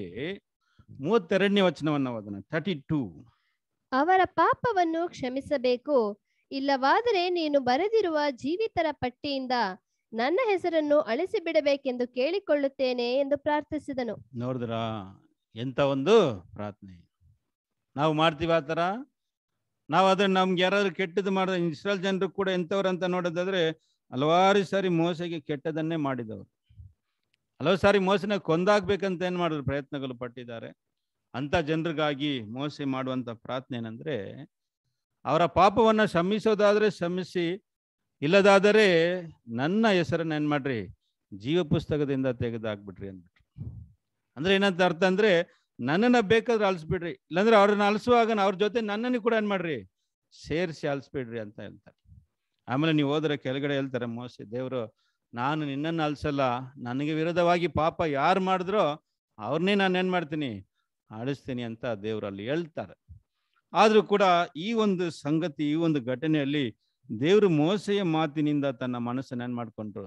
ಮಾರ್ಪಡಿಸ್ಕೊಂಡ್ರು ಅಂತ ನೋಡ್ತೀವಿ. ಸರಿ, ನೋಡಿ ಈಗ ಮೋಸ ಇಳಿದು ಬರ್ತಾರೆ ಕೆಳಗಡೆ, ಬಂದಾಗ ಇವರ ಒಂದು ಗತಿ ಹೇಗೆ ಇತ್ತು ಅಂತ ನೋಡೋದಾದ್ರೆ ವಾಕ್ಯವನ್ನ ಓದೋಣ, ಬನ್ನಿ. ಅದರಲ್ಲಿ ವಾಕ್ಯ ಓದ್ರೆ ಸಿಸ್ಟರ್. ಅದು ಹದಿನೈದರಿಂದ ಕೆಲವು ವಚನಗಳು ಓದ್ಕೊಂಡು ಬರೋಣ, ಬನ್ನಿ. ಆಜ್ಞಾಶಾಸನಗಳಾದ ಎರಡು ಕಲ್ಲಿನ ಹಲಿಗೆಗಳನ್ನು ಮೋಶಿಯು ಕೈಯಲ್ಲಿ ಹಿಡಿದುಕೊಂಡು ಬೆಟ್ಟದಿಂದ ಇಳಿದು ಬಂದನು. ಆ ಹಲಿಗೆಗಳ ಎರಡು ಪಕ್ಕಗಳಲ್ಲಿಯೂ ಅಕ್ಷರಗಳು ಬರೆದಿದ್ದವು. ಈ ಕಡೆಯೂ ಆ ಕಡೆಯೂ ಬರಹವಿತ್ತು. ಆ ಶಿಲಾಶಾಸನಗಳ ದೇವ್, ದೇವರ ಕೆಲಸವೇ. ಅವುಗಳಲ್ಲಿ ಬರೆದದ್ದು ದೇವರು ಕೆತ್ತಿದ ಅಕ್ಷರಗಳೇ. ಇಸ್ರಾಯೇಲ್ಯರು ಉತ್ಸಾಹದಿಂದ ಕೂಗಾಡುತ್ತಾ ಇರಲಾಗಿ ಯಹುಶುವನು ಆ ಶಬ್ದವನ್ನು ಕೇಳಿ ಪಾಳೆಯದ ಕಡೆಯಿಂದ ಯುದ್ಧ ಧ್ವನಿ ಕೇಳಿಸುತ್ತದೆ ಎಂದು ಮೋಶೆಗೆ ಹೇಳಿದನು. ಅದಕ್ಕವನು ನನಗೆ ಕೇಳಿಸುವುದು ಜಯಧ್ವನಿಯೂ ಅಲ್ಲ ಅಪಜಯ ಧ್ವನಿಯೂ ಅಲ್ಲ, ಉತ್ಸವದ ಧ್ವನಿಯೇ ಅಂದನು. ಅವನು ಪಾಳೆಯದ ಹತ್ತಿರಕ್ಕೆ ಬಂದು ಆ ಬಸವನನ್ನು ಜನರು ಕುಣಿದಾಡುವುದನ್ನು ಕಂಡಾಗ ಬಹು ಕೋಪಗೊಂಡು ಕೈಯಲ್ಲಿದ್ದ ಶಿಲಾಶಾಸನಗಳನ್ನು ಬೆಟ್ಟದ ಬುಡದಲ್ಲಿ ನೆಲಕ್ಕೆ ಹಾಕಿ ಹೊಡೆದು ಬಿಟ್ಟನು. ನೋಡಿದ್ರ ಪ್ರಿಯ ಸರ ಸರಿದೆ ಮೋಸೆ ಅಲ್ಲಿ ಕೆಳಗಡೆ ಇಳಿದು ಬಂದಾಗ ಇವರ ಒಂದು ಕೆಳಗಡೆ ನೋಡಿದ್ರೆ ಇವ್ರು ಏನ್ ಮಾಡ್ತಾ ಇದಾರೆ ಅಂದ್ರೆ ಕುಣಿದಾಡ್ತಾ ಇದ್ದಾರೆ. ಅಂದ್ರೆ ನೋಡಿದ್ರೆ ಅಲ್ಲಿ ಮ್ಯೂಸಿಕ್ ಹಾಕೊಂಡು ಡ್ಯಾನ್ಸ್ ಆಡ್ಕೊಂಡು ಬಸವನ ಮುಂದೆ ಏನ್ ಮಾಡ್ತಾ ಇದ್ದಾರೆ? ಡ್ಯಾನ್ಸ್ ಆಡ್ಕೊಂಡಿದ್ದಾರೆ. ಹೇಗಂದ್ರೆ ನಾವು ನೋಡ್ತೀವಲ್ಲ ಗಣೇಶ ಫೆಸ್ಟಿವಲ್ ಟೈಮ್ ಎಲ್ಲ ನೋಡಿದ್ರೆ ಜನರು ಏನ್ ಮಾಡ್ತಾರೆ? ಆ ಗಣೇ, ಆ ಒಂದು ಮೂರ್ತಿನ ಇಟ್ಕೊಂಡು ಮುಂದೆ ಏನ್ ಮಾಡ್ತಾರೆ? ಹಾಡು ಆಡ್ಕೊಂಡು ಡ್ಯಾನ್ಸ್ ಆಡ್ಕೊಂಡಿರ್ತಾರಲ್ಲ, ಅದೇ ರೀತಿಯಾಗಿ ಇವರು ಬಸವನ ಇಟ್ಕೊಂಡು ಇಸ್ರಾಲ್ ಜನರು ಈ ತರ ಮಾಡ್ತಾರೆ ಬರ್ತಾ ಇದ್ದಾರೆ. ಎಷ್ಟು ಕೋಪ ಆಗಿರ್ಬೇಕು ದೇವರಿಗೆ. ಮೋಸೆಗಿನೇ ಕೋಪ ಬಂದ್ಬಿಡ್ತು. ಎಷ್ಟು ಕೋಪ ಬಂದ್ಬಿಡ್ತು ಅಂದ್ರೆ ತಾನಿಟ್ಟಿಂದ ತಾನು ತಂದಿಂದ ಆ ಒಂದು ಹಲಗೆಗಳನ್ನ ಏನಾಗ್ಬಿಟ್ರು? ಕೆಳಗಡೆ ಹಾಕಿ ಹೊಡೆದು ಹಾಕ್ಬಿಟ್ರು ಮೋಸೆಗೆ ಕೋಪ ಬಂದ್ಬಿಡ್ತು. ಯಾಕೆಂದ್ರೆ ಈ ಒಂದು ದಸಾಗ್ನೆಯೇ ಪಡ್ಕೊಳ್ಳೋದಕ್ಕೆ ನಿಮ್ಗೆ ಯಾವ ಯೋಗ್ಯತೆನೇ ಇಲ್ಲ ನೀವು. ಒಂದು ನಲವತ್ತು ದಿವಸಗಳು ಕೂಡ ಅದನ್ನ ಕಡೆಯಡಕ್ಕೆ ನಿಮ್ಗೆ ಏನಾಗಿಲ್ಲ ಆಗ್ಲಿಲ್ಲ ಅಂದ್ರೆ ನೀವು ಇದನ್ನ ಹಡೆದ್ಕೊಂಡು ನಡೀತೀರಾ ಅಂತ ದೇವರು ಮೋಸೆ ಏನು ಮಾಡ್ಬಿಟ್ರು ಅದನ್ನ ಕೆಳಗಡೆ ಹಾಕಿತ್ತು, ಅದನ್ನ ಹೊಡೆದಾಗ್ಬಿಟ್ಟು ಪಾಪ ಮೋಸೆ ಅದರಿಂದನೇ ಇನ್ನೊಂದು ಸಾರಿ ಏನಾಗ ಏನ್ ಏನಾಗಬೇಕಾಗ್ತಿತ್ತು ಅವರು? ಬೆಟ್ಟಕ್ಕೆ ಹೋಗಿ ಮಾರನೇ ಸಾರಿ ಅದನ್ನ ಬರ್ಸ್ಕೊಂಡು ಬಂದ್ರು. ಎರಡು ಸಾರಿ ಊಟವನ್ನ ಬಿಟ್ಟು ಫಾರ್ಟಿ ಫಾರ್ಟಿ ಡೇಸ್ ಏನು ಮಾಡಿಲ್ಲ ಅವರು? ತನ್ನ ಊಟವನ್ನ ಮರೆತು, ನಿದ್ದೆನ ಮರೆತು ಇಸ್ರಾಯಲ್ ಜನರಿಗೋಸ್ಕರ ಅಷ್ಟು ಕಷ್ಟನ ಏನ್ ಮಾಡಿದ್ದಾರೆ, ಹೊಂದಿದ್ರು. ಓಕೆನಾ ನೋಡ್ರಿ, ಈಗ ಪ್ರಿಯ ಸರಸ್ವರೇ ಈಗ ಮೋಸೆಗೆ ಅದು ದಸ ಆಜ್ಞೆಯ ಒಂದು ಅಲೆಗೆನ ಹೊಡೆದಾಕಿದ್ರು ನಂತರ ಏನ್ ಮಾಡಿದ್ರು ಅಂತ ನೋಡಿದ್ರೆ, ಅವರು ಆರಾಧಿಸಿದಂತ ಆ ಬಸವನ್ನ ಒಡೆದು ಪುಡಿ ಪುಡಿ ಮಾಡಿ ಅದನ್ನ ನೀರಲ್ಲಿ ಕಳಿಸಿ ಅವ್ರನ್ನ ಕುಡಿಯಂಗೆ ಮಾಡಿದ್ರು. ಹಾಗೆ ಹೋದನ ಸಿಸ್ಟರ್, ಹಂಗೆ ಇಪ್ಪತ್ತೈದು ವಚನ ಇಪ್ಪತ್ತನೇ ವಚನ. ಜನರು ಮಾಡಿಸಿಕೊಂಡಿದ್ದ ಬಸವನನ್ನು ಅವನು ಹಿಡಿದು ಬೆಂಕಿಯಿಂದ ಸುಟ್ಟು ಅರೆದು ಪುಡಿ ಪುಡಿ ಮಾಡಿ ನೀರಿನ ಮೇಲೆ ಚೆಲ್ಲಿ ಇಸ್ರಾಯೇಲರಿಗೆ ಆ ನೀರನ್ನು ಕುಡಿಸಿದನು. ನೋಡಿದ್ರ ಇಸ್ರಾಯೇಲರಿಗೆ ಆ ನೀರನ್ನ ಕುಡಿಸಿದ್ರು. ಅದು ಮಾತ್ರ ಅಲ್ಲ, ಅಲ್ಲೇ ಆ ಬಸವನ್ನ ಅದನ್ನ ಪುಡಿ ಪುಡಿ ಮಾಡ್ಬಿಟ್ಟು ಅಲ್ಸ್ಬಿಟ್ರು. ಕಂಪ್ಲೀಟ್ ಆಗಿ ಡಿಸ್ಟ್ರಾಯ್ ಮಾಡ್ಬಿಟ್ಟು ನೋಡ್ಕೊಳ್ಳಿ ಈ ವಿಷಯದಲ್ಲಿ ಇರುವಂತ ಆತ್ಮಿಕ ಅರ್ಥವನ್ನ ನಾವು ನೋಡೋಣ. ಈ ಘಟನೆಯಲ್ಲಿ ಇರುವಂತ ಸತ್ಯವನ್ನ ಕೂಡ ನಾವು ನೋಡೋಣ ಪ್ರಿಯ ಸೌರಸ್ವರರೇ ಆ ನಂತರ ಏನಾಯ್ತು ಅಂತ ನೋಡೋದಾದ್ರೆ, ಈಗ ಮೋಸ ಏನ್ ಮಾಡ್ತಾರೆ ಅಂದ್ರೆ ಇಸ್ರಾಯಲ್ ಜನರ ಮಧ್ಯದಲ್ಲಿ ಒಂದು ಕರೆಯನ್ನ ಕೊಡ್ತಾರೆ. ಯಾರೆಲ್ಲ ದೇಹವನ ಕಡೆ ಇದ್ದಿರೋ ಅವರೆಲ್ಲ ಏನ್ ಮಾಡ್ರಿ, ನನ್ನ ಬಲಿಯಲ್ಲಿ ಬನ್ರಿ ಅಂತ ಒಂದು ಕರೆಯನ್ನ ಕೊಡ್ತಾರೆ. ಆಗ ಲೇವಿಯರು ಏನ್ ಮಾಡ್ತಾರೆ, ಮೋಸೆ ಕರೆಗೆ ಕಿವಿ ಕೊಟ್ಟು ಮೋಸೆ ಕಡೆ ಬಂದಿರ್ತಾರೆ. ಇಪ್ಪತ್ತಾರನೇ ವಚನ ಹೋದ್ರಿ ಟ್ವೆಂಟಿ ಸಿಕ್ಸ್ ಅವರು ಕ್ರಮವಿಲ್ಲದೆ ಸ್ವೇಚ್ಛೆಯಾಗಿ ನಡೆದುಕೊಳ್ಳುವುದನ್ನು ಮೋಶೆ ನೋಡಿ ಪಾಳ್ಯದ ಬಾಗಿಲಲ್ಲಿ ನಿಂತುಕೊಂಡು ಯಹೋವನ ಪಕ್ಷದವರೆಲ್ಲರೂ ನನ್ನ ಬಳಿಗೆ ಬರಬೇಕು ಎಂದು ಹೇಳಿದನು. ಆಗ ಲೇವಿಯ ಕುಲದವರೆಲ್ಲರೂ ಅವನ ಬಳಿಗೆ ಕೂಡಿ ಬಂದರು. ನೋಡಿದ್ರ ಪ್ರಿಯ ಸರ ಸರಿರೇ ಆಗ ಮೋಸೆ ಎಲ್ಲರನ್ನ ಕರೀತಾರೆ. ಯಾರು ಯಹೋವನ ಕಡೆ ಇದ್ದೀರೋ ಬನ್ರಿ ಅಂತ ಹೇಳ್ಬೇಕಾದ್ರೆ ಲೇವಿಯರು ಮಾತ್ರ ಬಂದ್ರು. ಹನ್ನೆರಡು ಗೋತ್ರದಲ್ಲಿ ಏಕೆ ದೇವರು ಲೇವಿ ಗೋತ್ರವನ್ನ ದೇವರ ಆರಾಧನೆ ಮಾಡುವಂತ ದೇವದರ್ಶನ ಗುಡರದ ಕಾರ್ಯದಲ್ಲಿ ಅವ್ರನ್ನ ದೇವರು ಉಪಯೋಗಿಸಿದ್ರು ಅಂತ ನೋಡೋದಾದ್ರೆ ಅದಕ್ಕೆ ಅವರು ತೋರಿಸಿದಂತ ಒಂದು ಭಕ್ತಿ. ದೇವ್ರಿಗಾಗಿ ಒಂದು ಭಕ್ತಿ ವೈರಾಗ್ಯವನ್ನು ಏನ್ ಮಾಡಿದ್ರು? ತೋರಿಸ್ತರು ಯಾವ ಘಟನೆಯಲ್ಲಿ? ಈ ಘಟನೆಯಲ್ಲಿ. ಆಗ ಏನ್ ಮಾಡಿದ್ರು ನೋಡಿ ಏನ್ ಮಾಡಿದ್ರು ನೋಡಿ? ಇವಾಗ ಮೋಸ ಹೇಳ್ತಾರೆ ನಿಮ್ಮ ನಿಮ್ಮ ಕತ್ತಿನ ಎತ್ಕೊಂಡು. ಯಾರು ನೋಡ್ಬೇಡಿ ನಿಮ್ಮ ಸಹೋದರ ಅಂತ ನೋಡ್ಬೇಡಿ ಸ್ನೇಹಿತ ಅಂತ ನೋಡ್ಬೇಡಿ. ಎಲ್ಲ ಏನ್ ಮಾಡ್ರಿ? ಕೋಂದಾಕಿ ಸಮರ್ಸಿ ಅಂತ ಹೇಳ್ತಾರೆ ನೋಡ್ರಿ ವಾಕ್ಯ ಹೋದ್ರಿ ಹಂಗೆ ಕಂಟಿನ್ಯೂ ಮಾಡಿ ಸಿಸ್ಟರ್ ಮೋಶೆ ಅವರಿಗೆ ಇಸ್ರಾಯೇಲ್ಯರ ದೇವರಾದ ಯಹೋವನು ಅಪ್ಪಣೆ ಮಾಡುವುದೇನೆಂದರೆ ನಿಮ್ಮಲ್ಲಿ ಪ್ರತಿಯೊಬ್ಬನು ಕತ್ತಿಯನ್ನು ಸೊಂಟಕ್ಕೆ ಕಟ್ಟಿಕೊಂಡು ಪಾಳೆಯದ ಮಧ್ಯದಲ್ಲಿ ಒಂದು ಬಾಗಿಲಿನಿಂದ ಮತ್ತೊಂದು ಬಾಗಿಲಿನವರೆಗೂ ಹೋಗುತ್ತಾ ಬರುತ್ತಾ ಅಣ್ಣ ತಮ್ಮ ಗೆಳೆಯ ನೆರೆಯವ ಎಂದು ಲಕ್ಷಿಸದೆ ಜನರನ್ನು ಸಂಹರಿಸಬೇಕು ಎಂದು ಹೇಳಿದನು. ನೋಡಿದ್ರ ಪ್ರಿಯ ಸರ ಸರಿ ರೀ ಯಾರನ್ನೇನ್ ಮಾಡ್ರಿ? ನೋಡಬೇಡಿ. ಅಯ್ಯೋ ನನ್ನ ಫ್ರೆಂಡ್ ಇವನು. ಅಯ್ಯೋ ನನ್ ಗೆಳೆಯ ಅಥವಾ ನನ್ನ ತಮ್ಮ ಅನ್ನ ಅಂತ ಏನ್ ಮಾಡ್ಬೇಡ್ರಿ? ನೋಡ್ಬೇಡ್ರಿ. ಕತ್ತಿ ಎತ್ಕೊಂಡು ಎಲ್ಲರನ್ನ ಸಂಹರಿಸಿ ಅಂದ್ಬಿಟ್ಟು. ಮಾಡಕ್ಕಾಗತ್ತಾ ಅಂತ ನೋಡೋದಾದ್ರೆ ಹೌದು. ಯಾಕೆಂದ್ರೆ ಲೇವಿಯರದನ್ನ ಮಾಡಿದ್ರು. ಸಮರ ಮಾಡಿದ್ರೆ ಎಷ್ಟು ಜನ ಅದು ಅದ ಘಟನೆಯಲ್ಲಿ ಸತ್ತಿದ್ರು ಅಂತ ನೋಡೋದಾದ್ರೆ ಇಪ್ಪತ್ತೆಂಟನೇ ವಚನ ಹೋದ್ರಿ ಟ್ವೆಂಟಿ ಏತ್ ವರ್ಷ ಹೋದನ ಸಿಸ್ಟರ್ ಲೇವಿಯ ಕುಲದವರು ಮೌಷ್ಯ ಆಜ್ಞೆಯ ಮೇರೆಗೆ ಮಾಡಿದರು. ಆ ದಿನದಲ್ಲಿ ಜನರೊಳಗೆ ಹೆಚ್ಚು ಕಡಿಮೆ ಮೂರು ಸಾವಿರ ಮಂದಿ ಕೊಲ್ಲಲ್ಪಟ್ಟರು. ನೋಡಿದ್ರ ಮೂರು ಸಾವಿರ ಮಂದಿ. ತ್ರೀ ತೌಸಂಡ್ ಅವತ್ತೇನಾದ್ರು ಕೊಲ್ಲಲ್ಪಟ್ಟು ನೋಡಿ ಪ್ರಿಯ ಸರ. ಸರಿರೆ ಸೊ ಈ ಬಸವದ ವಶ್ಯವಾಗಿ ನಾವು ನೋಡೋದಾದ್ರೆ, ಅವತ್ತು ಮೋಸೆಯ ಬಸವನ ಒಡೆದು ಪುಡಿ ಪುಡಿ ಮಾಡಿ ನಾಶ ಮಾಡಿದ್ರು ಅನಂತರ ಅದರಲ್ಲಿ ಭಾಗವಹಿಸಿದಂಥ ಎಲ್ಲರನ್ನ ಏನು ಮಾಡಿದ್ರು? ಕೊಂದಾಕಿದ್ರು ಕೂಡ ನೋಡ್ತೀವಿ. ಆದರೆ ಈ ಬಸವದ ವಿಷಯವು ಅಲ್ಲೇ ಏನಾಗಿಲ್ಲ, ನಿಂತೋಗಿಲ್ಲ. ಬಸವ ಆರಾಧನೆ ಮಾಡುವಂತ ಈ ಒಂದು ಘಟನೆ, ಈ ಒಂದು ಸಂಗತಿ ಏನಾಗಿಲ್ಲ? ಅಲ್ಲೇ ಅಂತ್ಯ ಆಗಿಲ್ಲ. ಆದರೂ ಕೂಡ ಪುನಃ ಇದೇನಾಯ್ತು? ಪುನಃ ಹುಟ್ಟಿತ್ತು ಇದು. ಸೀನ ಬೆಟ್ಟದಲ್ಲಿ ಅಳಿದೋಯ್ದಂಥ ಈ ಬಸವ ಏನಾಯ್ತು? ಪುನಃ ಏನಾಯ್ತು ಇದು?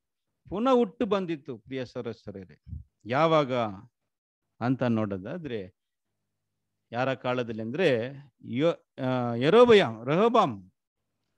ಯರೋಬಾಮ್, ಜರೋಬಾಮ್ ಕಾಲದಲ್ಲಿ ಏನಾಯ್ತಂದ್ರೆ ಪುನಃ ಅದು ಎದ್ದು ಬಂತು.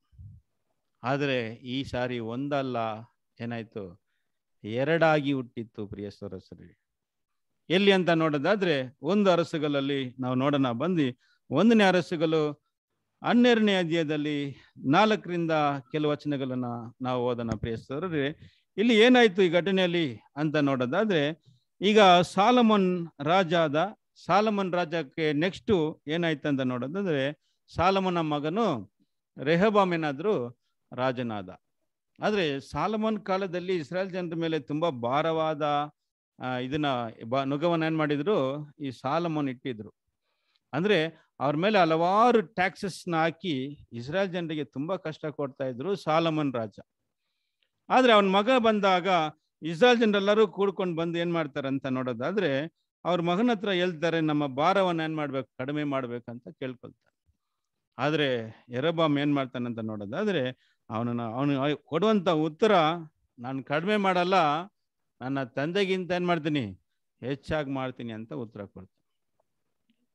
ಆಗ ಏನಾಗುತ್ತೆ ಅಂತ ನೋಡೋದಾದ್ರೆ, ಆಗ ಇಸ್ರೇಲ್ ದೇಶ ಎರಡಾಗಿ ಏನಾಗುತ್ತೆ? ಭಾಗವಾಗುತ್ತೆ.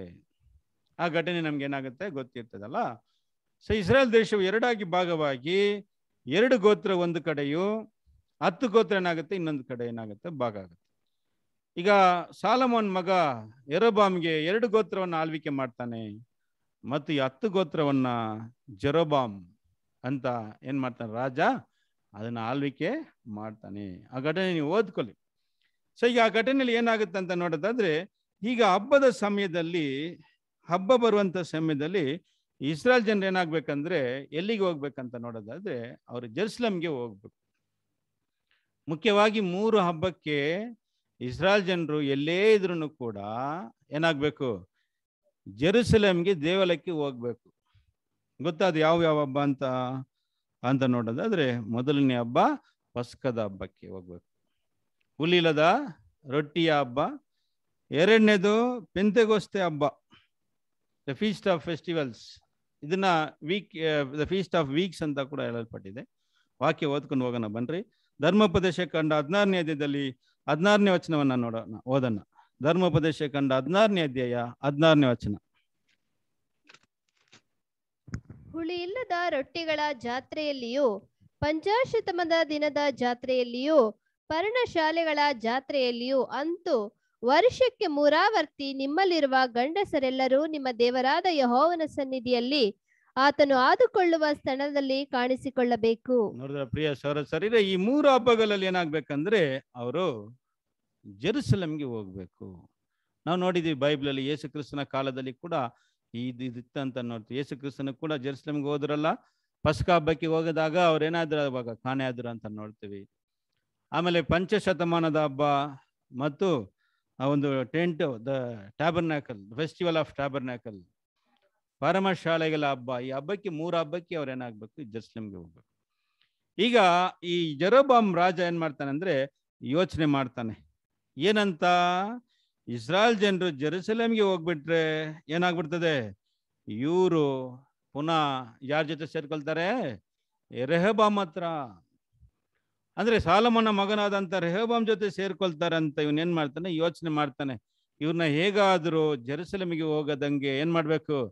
ತಡಿಬೇಕು ಅಂತ ಯೋಚನೆ ಮಾಡುವಾಗ ಅವನ ಯೋಚನೆಗೆ ಏನು ಬರ್ತದೆ ಅಂದ್ರೆ ಇಸ್ರಾಯಲ್ ಜನರಿಗೆ ತುಂಬಾ ಇಷ್ಟವಾದ ದೇವರು ಯಾರಂತ ಯೋಚಿಸ್ತಾನೆ. ಅವಾಗ್ನೇ ಅವನಿಗೆ ಯೋಚನೆ ಬರ್ತದೆ, ಸೀನಾಯಿ ಬೆಟ್ಟದಲ್ಲಿ ನಡೆದಂತ ಘಟನೆ ಅವನಿಗೆ ಯೋಚನೆ ಬರುತ್ತೆ. ಆದ್ರಿಂದ ತಕ್ಷಣ ಏನು ಮಾಡ್ತಾನೆ ಇವನು? ನೋಡಿ, ಈಗ ಅದನ್ನ ವಚನದಲ್ಲಿ ಓದನ ವಾಕ್ಯ ಓದ್ರಿ. ಇಪ್ಪತ್ತು ಐದನೇ ವಚನದಿಂದ ಓದ್ರಿ, ಸಿಸ್ಟರ್. ಸರ್, ಇಪ್ಪತ್ತು ಆರು ಓದ್ಬಿಡ್ರಿ. ಇಪ್ಪತ್ತಾರರಿಂದ ಅವನು ಕೆಲವು ತನ್ನ ಅವನು ತನ್ನ ಮನಸ್ಸಿನಲ್ಲಿ ರಾಜ್ಯವು ತಿರುಗಿ ದಾವೀದನ ಕುಟುಂಬದವರಿಗೆ ಆಗುವುದೋ ಏನೋ. ಜನರು ಎರಸುಲೇಮಿನಲ್ಲಿರುವ ಯಹೋವನ ಆಲಯಕ್ಕೆ ಯಜ್ಞಾರ್ಪಣೆಗಾಗಿ ಹೋಗುವುದಾದರೆ ಅವರ ಮನಸ್ಸು ಅವರ ಒಡೆಯನು ಯಹೂದದ ಅರಸನು ಆದ ರೆಹಪಾಮನ ಕಡೆಗೆ ತಿರುಗಿತು ಅವರು ನನ್ನನ್ನು ಕೊಂದು ಅವನ ಬಳಿಗೆ ಹೋದಾರು ಅಂದುಕೊಂಡು ಬಹಳವಾಗಿ ಆಲೋಚಿಸಿ ಕಡೆಯಲ್ಲಿ ಬಂಗಾರದ ಎರಡು ಬಸವನ ಮೂರ್ತಿಗಳನ್ನು ಮಾಡಿಸಿ ಇಸ್ರಾಯೇಲ್ಯರಿಗೆ, ನೀವು ಜಾತ್ರೆಗಾಗಿ ಎರುಸಲೇಮಿಗೆ ಹೋದದ್ದು ಸಾಕಾಯಿತು. ಇಗೋ, ನಿಮ್ಮನ್ನು ಐಗುಪ್ತದಿಂದ ಕರೆತಂದ ದೇವರುಗಳು ಇಲ್ಲಿರುತ್ತವೆ ಎಂದು ಹೇಳಿ ಅವುಗಳಲ್ಲಿ ಒಂದನ್ನು ಬೇತೇಲಿನಲ್ಲಿರಿಸಿ ಇನ್ನೊಂದನ್ನು ದಾನಿಗೆ ಕಳುಹಿಸಿದನು. ನೋಡಿದ್ರೆ ಪ್ರಿಯಮ, ಪ್ರಿಯ ಸೌರ ಸೌರ್ಯರೇ ನೋಡಿ ಎಂತ ಯೋಚನೆ ಇವನ್ ಮಾಡಿದಾನೆ ನೋಡ್ರಿ. ತನ್ನ ಸ್ವಾರ್ಥಕ್ಕಾಗಿ ತಾನು ರಾಜನಾಗಿ ಇರಬೇಕಂತ ಒಂದು ಸ್ವಾರ್ಥಕ್ಕಾಗಿ ಇಸ್ರಾಯಲ್ ಜನರನ್ನ ಪುನಃ ಅದು ಪಾಪವನ್ನ ಮಾಡಕ್ಕೆ ಇವನೇನು ಮಾಡ್ತಾನೆ? ಮೊದಲನೇ ಸಾರಿ ಇವ್ರು ಮಾಡಿ ಮೂರು ಸಾವಿರ ಜನರು ಏನಾದ್ರು ಸತ್ತಿದ್ರು ಸೀನಾಯಿ ಬೆಟ್ಟದಲ್ಲಿ.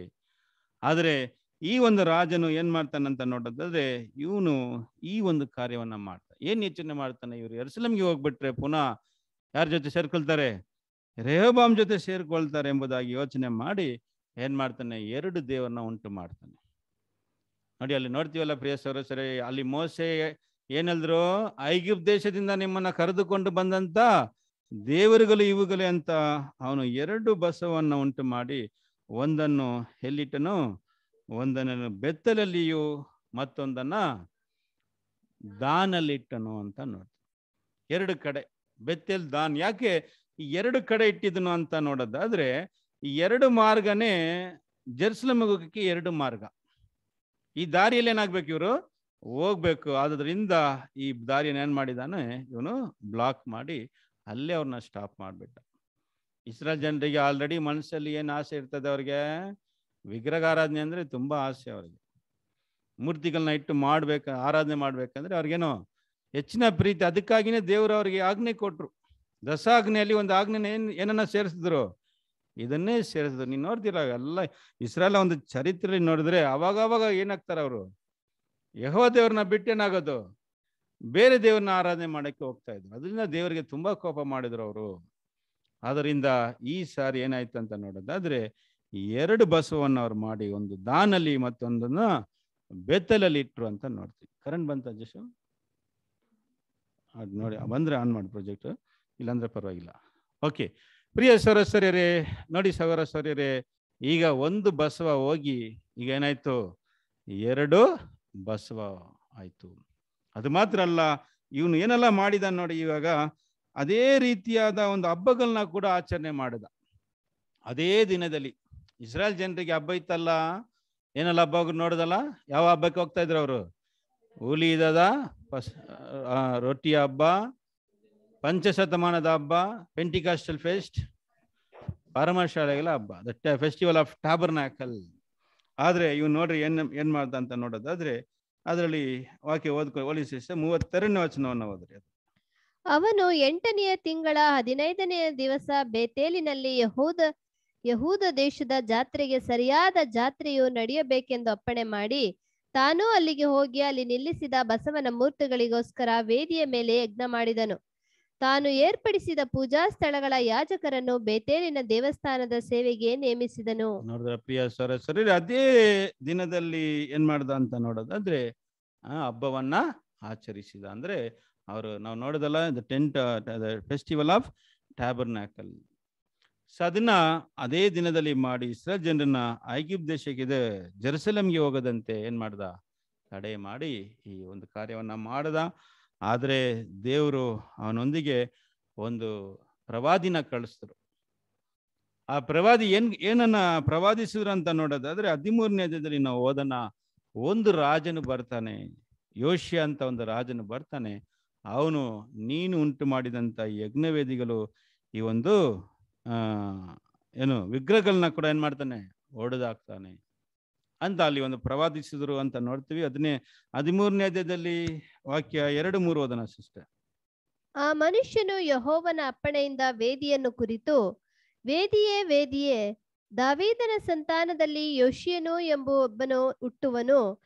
ಅವನು ನಿನ್ನ ಮೇಲೆ ಧೂಪ ಸುಡುವ ಪೂಜಾ ಸ್ಥಳಗಳ ಯಾಜಕರನ್ನು ಹಿಡಿದು, ಅವರನ್ನು ನಿನ್ನ ಮೇಲೆಯೇ ಯಜ್ಞ ಮಾಡುವನು. ಮನುಷ್ಯರ ಎಲುಬುಗಳು ನಿನ್ನ ಮೇಲೆ ಸುಡಲ್ಪಡುವವು ಎಂದು ಯಹೋವನು ಹೇಳುತ್ತಾನೆ ಅಂದನು. ನೋಡಿದ್ರ ಪ್ರಿಯ ಸರ ಸರಿರೇ ಈ ಘಟನೆಯಲ್ಲಿ ನಾವು ನೋಡೋದಾದ್ರೆ ಅಲ್ಲಿ ಒಂದು ದೇವರು ಒಂದು ಪ್ರವಾದಿನ ಕಳಿಸಿದ್ರು ಆ ಪ್ರವಾದಿ ಈ ತರ ಏನ್ ಮಾಡಿದ್ರು? ಪ್ರವಾದಿಸಿದ್ರು. ದಾವಿದನ ವಂಶದಲ್ಲಿ ಯೋಶನೆಂಬ ಒಂದು ಅರಸನು ಬರ್ತಾನೆ. ಅವನು ಈ ಮನುಷ್ಯರನ್ನ ಈ ಒಂದು ವೇದಿಯ ಮೇಲೆ ಏನ್ ಮಾಡ್ತಾರೆ? ಅಲ್ಲಿ ಯಜ್ಞ ಮಾಡ್ತಾರೆ ಎಂಬುದಾಗಿ ಅಲ್ಲಿ ಪ್ರವಾದಿಸಿದ್ರು ಅಂತ ನೋಡ್ತೀವಿ. ಅದೇ ರೀತಿಯಾಗಿ ಈ ಒಂದು ಪ್ರವಾದನೆಯು ಕೂಡ ನೆರವೇರಿತು. ಆ ನಂತರ ಯೋಶ್ಯ ರಾಜ ಬಂದು ಇದೇ ಒಂದು ಕಾರ್ಯವನ್ನು ಏನು ಮಾಡಿದ್ರು? ನಡೆಸಿದ್ರು ಅಂತ ಕೂಡ ನಾವು ಓದ್ಬೋದು. ಅದು ಇದರಲ್ಲಿ ಮೂವತ್ತು ಪೂರ್ವಕಾಲ ವೃತ್ತಾಂತದಲ್ಲಿ, ಆ, ಮೂವತ್ನಾಲ್ಕನೇ ಅಧ್ಯಾಯ ಸೆಕೆಂಡ್ ಕ್ರಾನಿಕಲ್ಸ್ ಮೂವತ್ತು, ಮೂವತ್ನಾಲ್ಕನೇ, ಎರಡನೇ ಪೂರ್ವಕಾಲ ವೃತ್ತಾಂತದಲ್ಲಿ, ಮೂವತ್ನಾಲ್ಕನೇ ಅಧ್ಯಾಯದಲ್ಲಿ ಯೋಶನ ವಿಷಯವಾಗಿ ಅಲ್ಲಿ ಎಲ್ಲಲ್ಪಟ್ಟಿದೆ ಆಗ ಏನಾಯ್ತು ಅಂತ ನೋಡೋದಾದ್ರೆ, ಈ ಒಂದು ಪ್ರವಾದನೆಯು ಅಲ್ಲಿ ನೆರವೇರಿತು ಅಂತ ನೋಡ್ತೀವಿ. ನಾಲ್ಕು ಐದು ವಚನ ಓದೋಣ ಸಿಸ್ಟರ್ ಫೋರ್ ಅಂಡ್ ಫೈವ್ ಇದಲ್ಲದೆ ಅವನು ಬಾಳ್ ದೇವತೆಗಳ ಯಜ್ಞವೇದಿಗಳನ್ನು ತನ್ನ ಎದುರಿನಲ್ಲಿಯೇ ಹಾಳು ಮಾಡಿಸಿ ಅವುಗಳ ಮೇಲಿದ್ದ ಸೂರ್ಯ ಸ್ತಂಭಗಳನ್ನು ಕೆಡಿಸಿ, ಅಶ್, ಕಡಿಸಿ, ಅಶೇರ್ ಸ್ತಂಭ ಕೆತ್ತಿದ ಮತ್ತು ಎರಕದ ವಿಗ್ರಹ ಇವುಗಳನ್ನು ಹೊಡೆಸಿ, ಪುಡಿ ಪುಡಿ ಮಾಡಿಸಿ ಅವುಗಳಿಗೆ ಯಜ್ಞವನ್ನು ಅರ್ಪಿಸಿದವರ ಸಮಾಧಿಗಳ ಮೇಲೆ ಆ ಧೂಳನ್ನು ಚೆಲ್ಲಿಸಿದನು. ಅವುಗಳ ಪೂಜಾರಿಗಳ ಎಲುಬುಗಳನ್ನು ಆ ಯಜ್ಞವೇದಿಗಳ ಮೇಲೆ ಸುಡಿಸಿ ಯಹೂದದ ಮತ್ತು ಯೆರೂಸಲೇಮಿನ ಅಶುದ್ಧತ್ವವನ್ನೆಲ್ಲ ಪರಿಹರಿಸಿದನು. ನೋಡಿದ ಪ್ರಿಯ ಸರ ಸರಿಯರೇ ಯೋಶಿಯನು ಅದನ್ನ ಏನ್ ಮಾಡಿದ್ರು?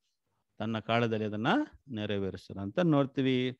ಸೊ ಇದೇ ಘಟನೆ ಪ್ರಿಯ ಸರಸರ ಇವತ್ತಿನ ನಾವು ಧ್ಯಾನಕ್ಕಾಗಿ ಆರಿಸ್ಕೊಂಡಿದ್ದು. ಏನಪ್ಪಾ ಅಂತ ನೋಡೋದಾದ್ರೆ ಇಸ್ರಾಲ್ ಜನರು ಐಗಿಪ್ ದೇಶದಿಂದ ಬಂದರು. ಸೀನಾ ಬೆಟ್ಟಕ್ಕೆ ಬಂದಾಗ ಏನು ಮಾಡಿದ್ರು ಅವರು? ಮೋಸೆ ದಸಾಗ್ನಿ ಆಗ್ನಿನ ಪಡ್ಕೊಂಡು ಬರೋಕ್ಕೆ ಎಲ್ಲೋದ್ರು?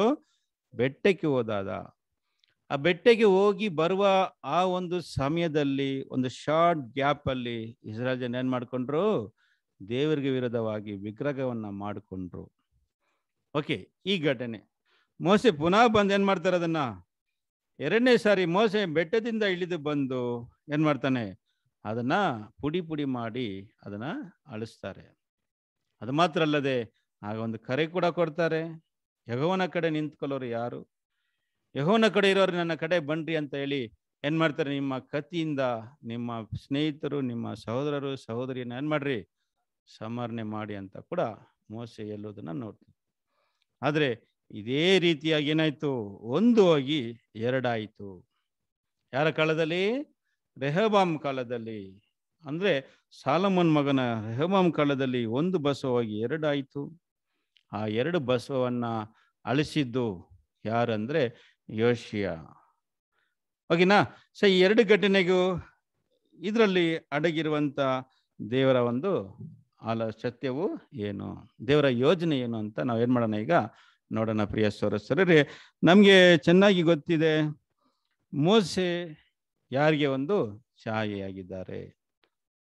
ಮೋಸೆ ಯಾರಿಗೆ ಛಾಯೆ ಆಗಿದ್ದಾರೆ ಅಂತ ನೋಡಿದ್ರೆ ಯೇಸು ಕ್ರಿಸ್ತನಿಗೆ ಮೋಸೆ ಒಂದು ಛಾಯೆ. ಹಲವಾರು ಘಟನೆಗಳು ಮೋಸೆಗೂ ಯೇಸು ಏನಾಗುತ್ತೆ ಹೊಂದಾಣಿಕೆ ಇದೆ ಅಂತ ನೋಡ್ತೀವಲ್ಲ? ನೋಡ್ತೀವಲ್ಲ? ಮೋಸೆ ಕೂಡ ಅದನ್ನ ಬಗ್ಗೆ ಹೇಳಿದ್ದಾರಲ್ಲ ಧರ್ಮೋಪದೇಶ ಕಂಡ ಹದಿನೆಂಟನೇದಲ್ಲಿ ಹದಿನೈದು ವರ್ಷ ಓದಿದೆ ಸಿಸ್ಟರ್. ಧರ್ಮೋಪದೇಶ ಕಂಡ ಹದಿನೆಂಟು ಹದಿನೈದು Deuteronomy eighteen chapter verse fifteenth verse ನಿಮ್ಮ ದೇವರಾದ ಯಹೋವನು ನಿಮ್ಮ ಸಹೋದರರಲ್ಲಿ ನನ್ನಂತ ಪ್ರವಾದಿಯನ್ನು ನಿಮಗೆ ಏರ್ಪಡಿಸುವನು. ಅವನಿಗೆ ನೀವು ಕಿವಿಗೊಡಬೇಕು. ನೋಡಿದ್ರ? ಮೋಸೆಯ ವಿಷಯವಾಗಿ ಮೋಸೆ ತನ್ನ ವಿಷಯವಾಗಿ ಹೇಳ್ಬೇಕಾದ್ರೆ ನನ್ನಂತ ಪ್ರವಾದಿನ ಏನ್ ಮಾಡ್ತಾರೆ? ನಿನ್ನ ಸಹೋದರರ ಮಧ್ಯದಲ್ಲಿ ಎಬ್ಬಿಸಿದ್ದಾರೆ. ಅವ್ರು ಯಾರು? ಅವ್ರು ನಮ್ಮ ಕರ್ತನಾದ ಯೇಸು ಕ್ರಿಸ್ತನು. ಮೋಸೆಯ ಮೋಸೆಯ ಪ್ರ, ಮೋಸೆ ಥರ ಇದ್ದಂಥ ಒಂದು ಪ್ರವಾದಿ ಅಂತ ನೋಡ್ತೀವಿ. ಕೇಶವರಸರಿಗೆ ನಮ್ಗೆ ಚೆನ್ನಾಗಿ ಗೊತ್ತಲ್ಲ, ಮೋಸೆ ಹುಟ್ಟಿದಾಗ ಏನಾಯ್ತು? ಅದೇ ರೀತಿಯಾಗಿ ಏಸು ಹುಟ್ಟುವಾಗ ಕೂಡ ಎಲ್ಲ ಮಕ್ಕಳನ್ನ ಏನು ಮಾಡಿದ್ರು? ಸಾಯಿಸಿದ್ರು. ಓಕೆನ? ಮೋಸೆ ಮುಖಾಂತರ ದಶಾಗ್ನಿಗಳು ಸಿಕ್ಕಿತ್ತು ಯೇಸು ಮೂಲಕ. ಏನು ಸಿಕ್ಕಿತ್ತು? ಸತ್ಯವು ಸಿಕ್ಕಿತ್ತು ಅಂತ ನೋಡ್ತೀವಿ. ಕೃಪೆಯು ಸತ್ಯವು ಸಿಕ್ಕಿತ್ತು. ನಾವು ಮೋಸೆಯ ವಿಷಯವಾಗಿ ಒಂದು ಪಾಠವನ್ನು ಕೂಡ ಏನ್ ಮಾಡಿದ್ವಿ? ಕೇಳಿದ್ವಿ ಪ್ರಿಯತಿಯ ಸೌರಸ್ವರ್ಯರೇ ಆದ್ದರಿಂದ ಈ ಒಂದು ಮೋಸೆ ಯಾರಿಗೆ ಒಂದು ಛಾಯೆಯಾಗಿದ್ದಾರೆ ಅಂತ ನೋಡೋದಾದ್ರೆ ನಮ್ಮ ಕರ್ತನಾದ ಯೇಸು ಕ್ರಿಸ್ತನಿಗೆ ಒಂದು ಛಾಯೆಯಾಗಿದ್ದಾರೆ. ಸರಿ, ನೋಡಿ, ಈಗ ಇಸ್ರಾಯೇಲ್ ಜನರನ್ನ ಐಗಿಪ್ಟ್ ದೇಶದಿಂದ ಏನಾದ್ರು ಕರ್ಕೊಂಡು ಬಂದ್ರು, ಸೀನಾಯ್ ಬೆಟ್ಟಕ್ಕೆ ಬಂದ್ರು, ಸೀನಾಯ್ ಬೆಟ್ಟದಲ್ಲಿ ಅವರಿಗೆ ಆಜ್ಞೆಗಳನ್ನ ಏನ್ ಮಾಡಿದ್ರು, ಕೊಟ್ಟು ಎಲ್ಲೋದ್ರು ಬೆಟ್ಟಕ್ಕೆ ಹೋದ್ರು. ಸೊ ಈ ಘಟನೆ ಏನನ್ನ ಸೂಚಿಸ್ತದೆ ಅಂದ್ರೆ ಐಗಿಪ್ಟ್ ದೇಶ ಲೋಕಕ್ಕೇನಾಗಿದೆ? ಹೋಲಿಕೆಯಾಗಿದೆ. ಇಸ್ರಾಯೇಲ್ ಜನರು ದೇವರ ಮಕ್ಕಳಿಗೆ ಅಂದ್ರೆ ವಿಶ್ವಾಸಿಗಳು ಏನಾಗಿದ್ದಾರೆ? ಹೋಲಿಕೆ ಆಗಿದ್ದಾರೆ ಆದ್ದರಿಂದ ಯೇಸು ಕ್ರಿಸ್ತನ ಮೂಲಕ ನಮಗೆ ಏನಾಯ್ತು? ಸಭೆನ ಏನು ಮಾಡಿದ್ರು ದೇವರು ಈ ಲೋಕದಿಂದ ಬಿಡಿಸ್ಕೊಂಡು ಬಂದ್ರು ಆದಿ ಆದಿ ಸಭೆನ. ಅಲ್ವಾ? ಆದಿ ಸಭೆನ ಬಿಡಿಸ್ಕೊಂಡು ಬಂದು ಯೇಸು ಸ್ವಾಮಿ ಏನಾದ್ರು ಎಲ್ಲಿ ಹೋದ್ರು? ಪರಲೋಕಕ್ಕೆ ಹೋದರು. ಓಕೆನಾ ಯೇಸು ಸ್ವಾಮಿ ಎಲ್ಲೋದ್ರು ಪರಲೋಕಕ್ಕೆ ಹೋದರು. ಹೇಗೆ ಮೋಸೆ ಎಲ್ಲೋದ್ರು ಮೋಸೆ ಬೆಟ್ಟಕ್ಕೆ ಹತ್ತೋದ್ರು ಅದೇ ರೀತಿಯಾಗಿ ಯೇಸು ಕ್ರಿಸ್ತನು ಪರಲೋಕಕ್ಕೆ ಹೋದರು. ಹೋದ್ರು ಆದ್ರೆ ಇಸ್ರಾಯೇಲ್ ಜನರು ಮೋಸೆ ಒಂದೆರಡು ದಿನದಲ್ಲಿ ಏನಾಗುತ್ತಾರೆ ತಿರ್ಗಾ ಬಂದ್ಬಿಡ್ತಾರೆ ಅಂತಾನೆ ಎದುರು ನೋಡ್ತಾ ಇದ್ರು. ಆದರೆ ಮೋಸೆ ಬರೋದಕ್ಕೆ ಎಷ್ಟು ದಿನ ಆಯ್ತು? ನಲ್ವತ್ತು ದಿವಸಗಳು ಆಗುತ್ತಂತ ಅವ್ರಿಗೆ ಗೊತ್ತಿರ್ಲಿಲ್ಲ. ಅದೇ ರೀತಿಯಾಗಿ ಕ್ರೈಸ್ತರು ಕೂಡ ಯೇಸು ಸ್ವಾಮಿ ಹೋಗಿ ತಕ್ಷಣ ಏನಾಗ್ಬಿಡ್ತಾರೆ? ಬಂದ್ಬಿಡ್ತಾರೆ ಅಂತಾನೆ ಅನ್ಕೊಂಡ್ರು ಯೇಸುವಿನ ಎರಡನೇ ಬರುವಿಕೆ. ಯೇಸುವಿನ ಎರಡನೇ ಬರುವಿಕೆ ವಿಷಯದಲ್ಲಿ ತುಂಬಾ ಆಸಕ್ತಿಯಿಂದ ಎದುರು ನೋಡಿತಾ ಎದುರು ನೋಡಿದ್ದು ಯಾರು ಅಂತ ನೋಡೋದಾದ್ರೆ, ಯಾರು ಎದುರು ನೋಡ್ತಾ ಇದ್ದಿದ್ದು? ಯಾವ ಸಭೆ? ತೆಸಲ್ನಿಕೆ ಸಭೆ. ತೆಸಲ್ನಿಕೆ ಸಭೆಯವ್ರ ಮಾ, ಸಭೆಯವರೇ ಯೇಸು ಕ್ರಿಸ್ತನು ಅವರ ಕಾಲದಲ್ಲಿ ಏನಾಗ್ಬಿಡ್ತಾರೆ? ಬಂದ್ಬಿಡ್ತಾರ ಅಂತ ಇದನ್ನ ನೋಡ್ತಾ ಇದ್ರು. ಅದು ಯೇಸು ಸ್ವಾಮಿ ಬರೋದಕ್ಕೆ ಎರಡು ಸಾವಿರ ವರ್ಷ ಆಗುತ್ತಂತ ಅವ್ರಿಗೇನಾಗಿರ್ಲಿಲ್ಲ? ಗೊತ್ತಿರ್ಲಿಲ್ಲ. ಅದನ್ನೇ ಪೌಲರು ಅವ್ರಿಗೆ ಎಕ್ಸ್ಪ್ಲೇನ್ ಮಾಡ್ತಾರೆ, ಈಗ ನೀವು ಯೇಸು ಸ್ವಾಮಿನ ಎದುರು ನೋಡಬೇಡಿ. ಯೇಸು ಸ್ವಾಮಿ ಬರೋದಕ್ಕೆ ತುಂಬಾ ಕಾಲಗಳಾಗತ್ತೆ. ಅವರು ಬರೋದಕ್ಕೆ ಮುಂಚೆ ಏನಾಗ್ಬೇಕು?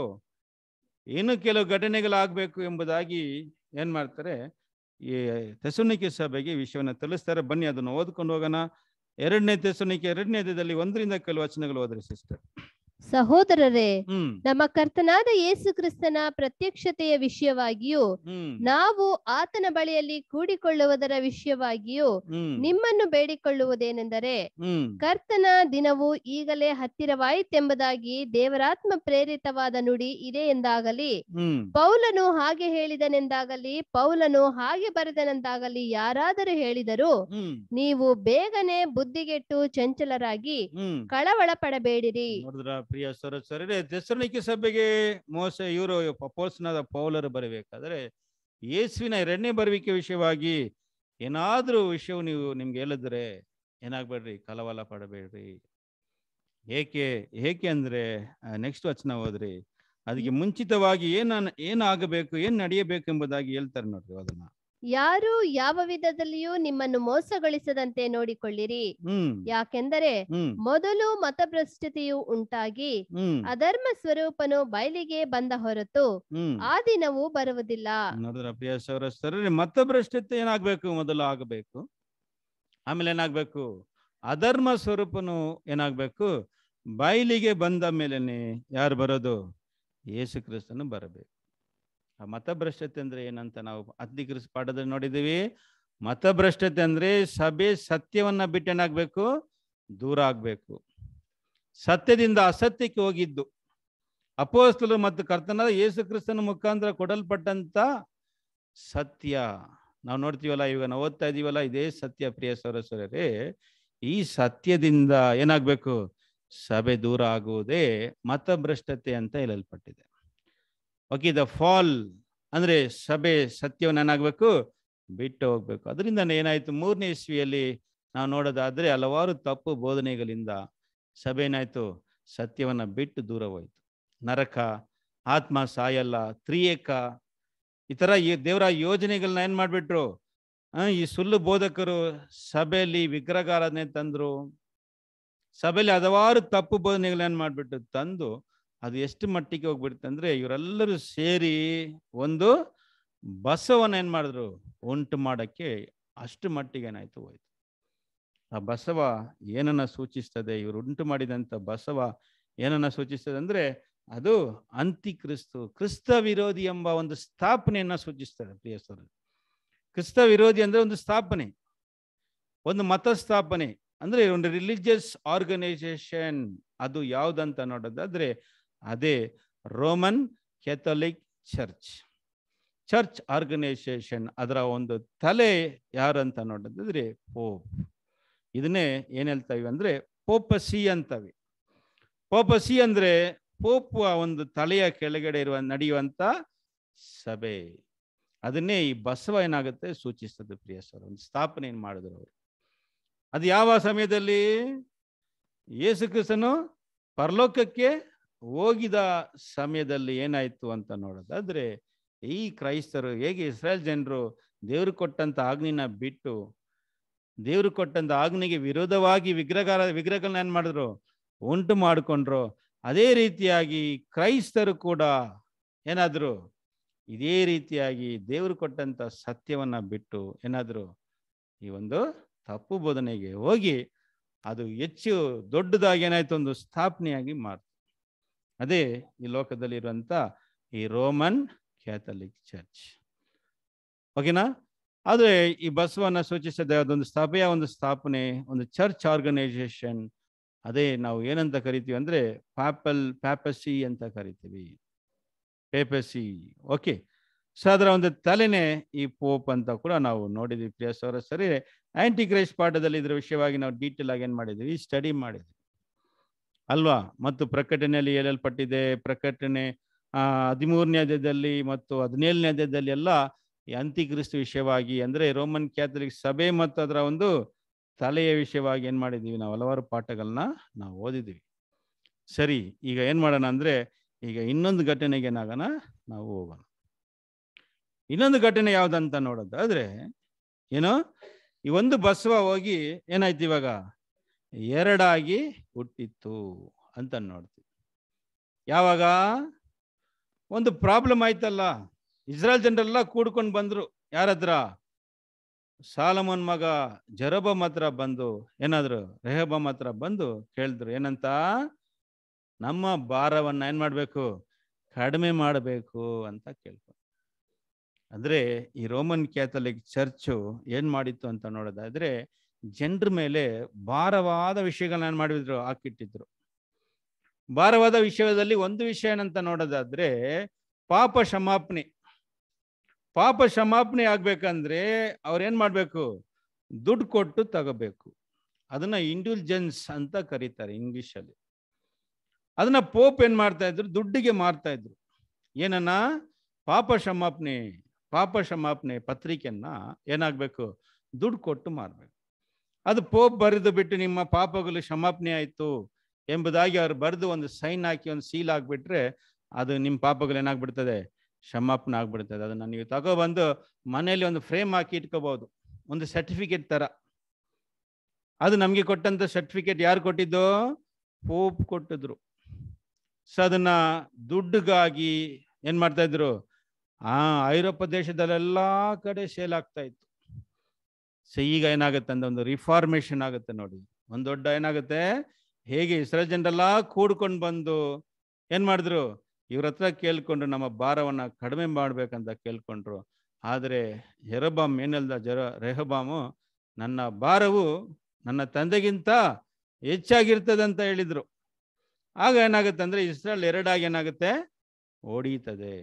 ಎರಡು ಭಾಗವಾಗುತ್ತೆ. ಅದೇ ರೀತಿಯಾಗಿ ನೋಡೋದಾದ್ರೆ ಪ್ರಿಯ ಸೌರ ಸರ ಈ ಘಟನೆ ಯಾವ ಕಾಲದಲ್ಲಿ ಆಯ್ತು ಅಂತ ನೋಡೋದಾದ್ರೆ, ಮಾರ್ಟಿನ್ ಲೂಥರ್ ಒಂದು ಕಾಲದಲ್ಲಿ. ಮಾರ್ಟಿನ್ ಲೂಥರ್ ಒಂದು ಕಾಲದಲ್ಲಿ ಏನಾಯ್ತು ಅಂದ್ರೆ ರಿಫಾರ್ಮೇಶನ್ ಆಯ್ತು. ಏನ್ ರಿಫಾರ್ಮೇಶನ್ ಅಂದ್ರೆ, ಪಾಪ ಕ್ಷಮಾಪಣೆ ನಮ್ಗೆ ಯೇಸು ಕ್ರಿಸ್ತನ ಮೂಲಕವೇ ಏನಾಗುತ್ತೆ ನಮ್ಗೆ ಸಿಗುತ್ತೆ ಹೊರತು, ಪೋಪಿಂದ ಪತ್ರಿಕೆ ತಗೊಳ್ಳುವಂತ ಒಂದು ಕಾರ್ಯದಲ್ಲಿ ಅಲ್ಲ ಅಂತ ಮಾರ್ಟಿನ್ ಲೂಥರ್ ಏನ್ ಮಾಡ್ತಾರೆ ಅಂದ್ರೆ, ನೈಂಟಿ ಫೈವ್ ಥೀಸಸ್ ಏನ್ ಮಾಡ್ತಾರೆ, ಬರೀತಾರೆ. ತೊಂಬತ್ತೊಂಬತ್ತು ಪಾಯಿಂಟ್ ರೋಮನ್ ಕ್ಯಾಥಲಿಕ್ ಚರ್ಚ್ ಮಾಡುವಂತ ಎಲ್ಲಾ ತಪ್ಪುಗಳನ್ನ ಬರೆದು ಚರ್ಚಲ್ಲಿ ಏನ್ ಅದನ್ನ ಮೊಲೆ ಹೊಡೆದು ಹಾಕ್ಬಿಟ್ರು.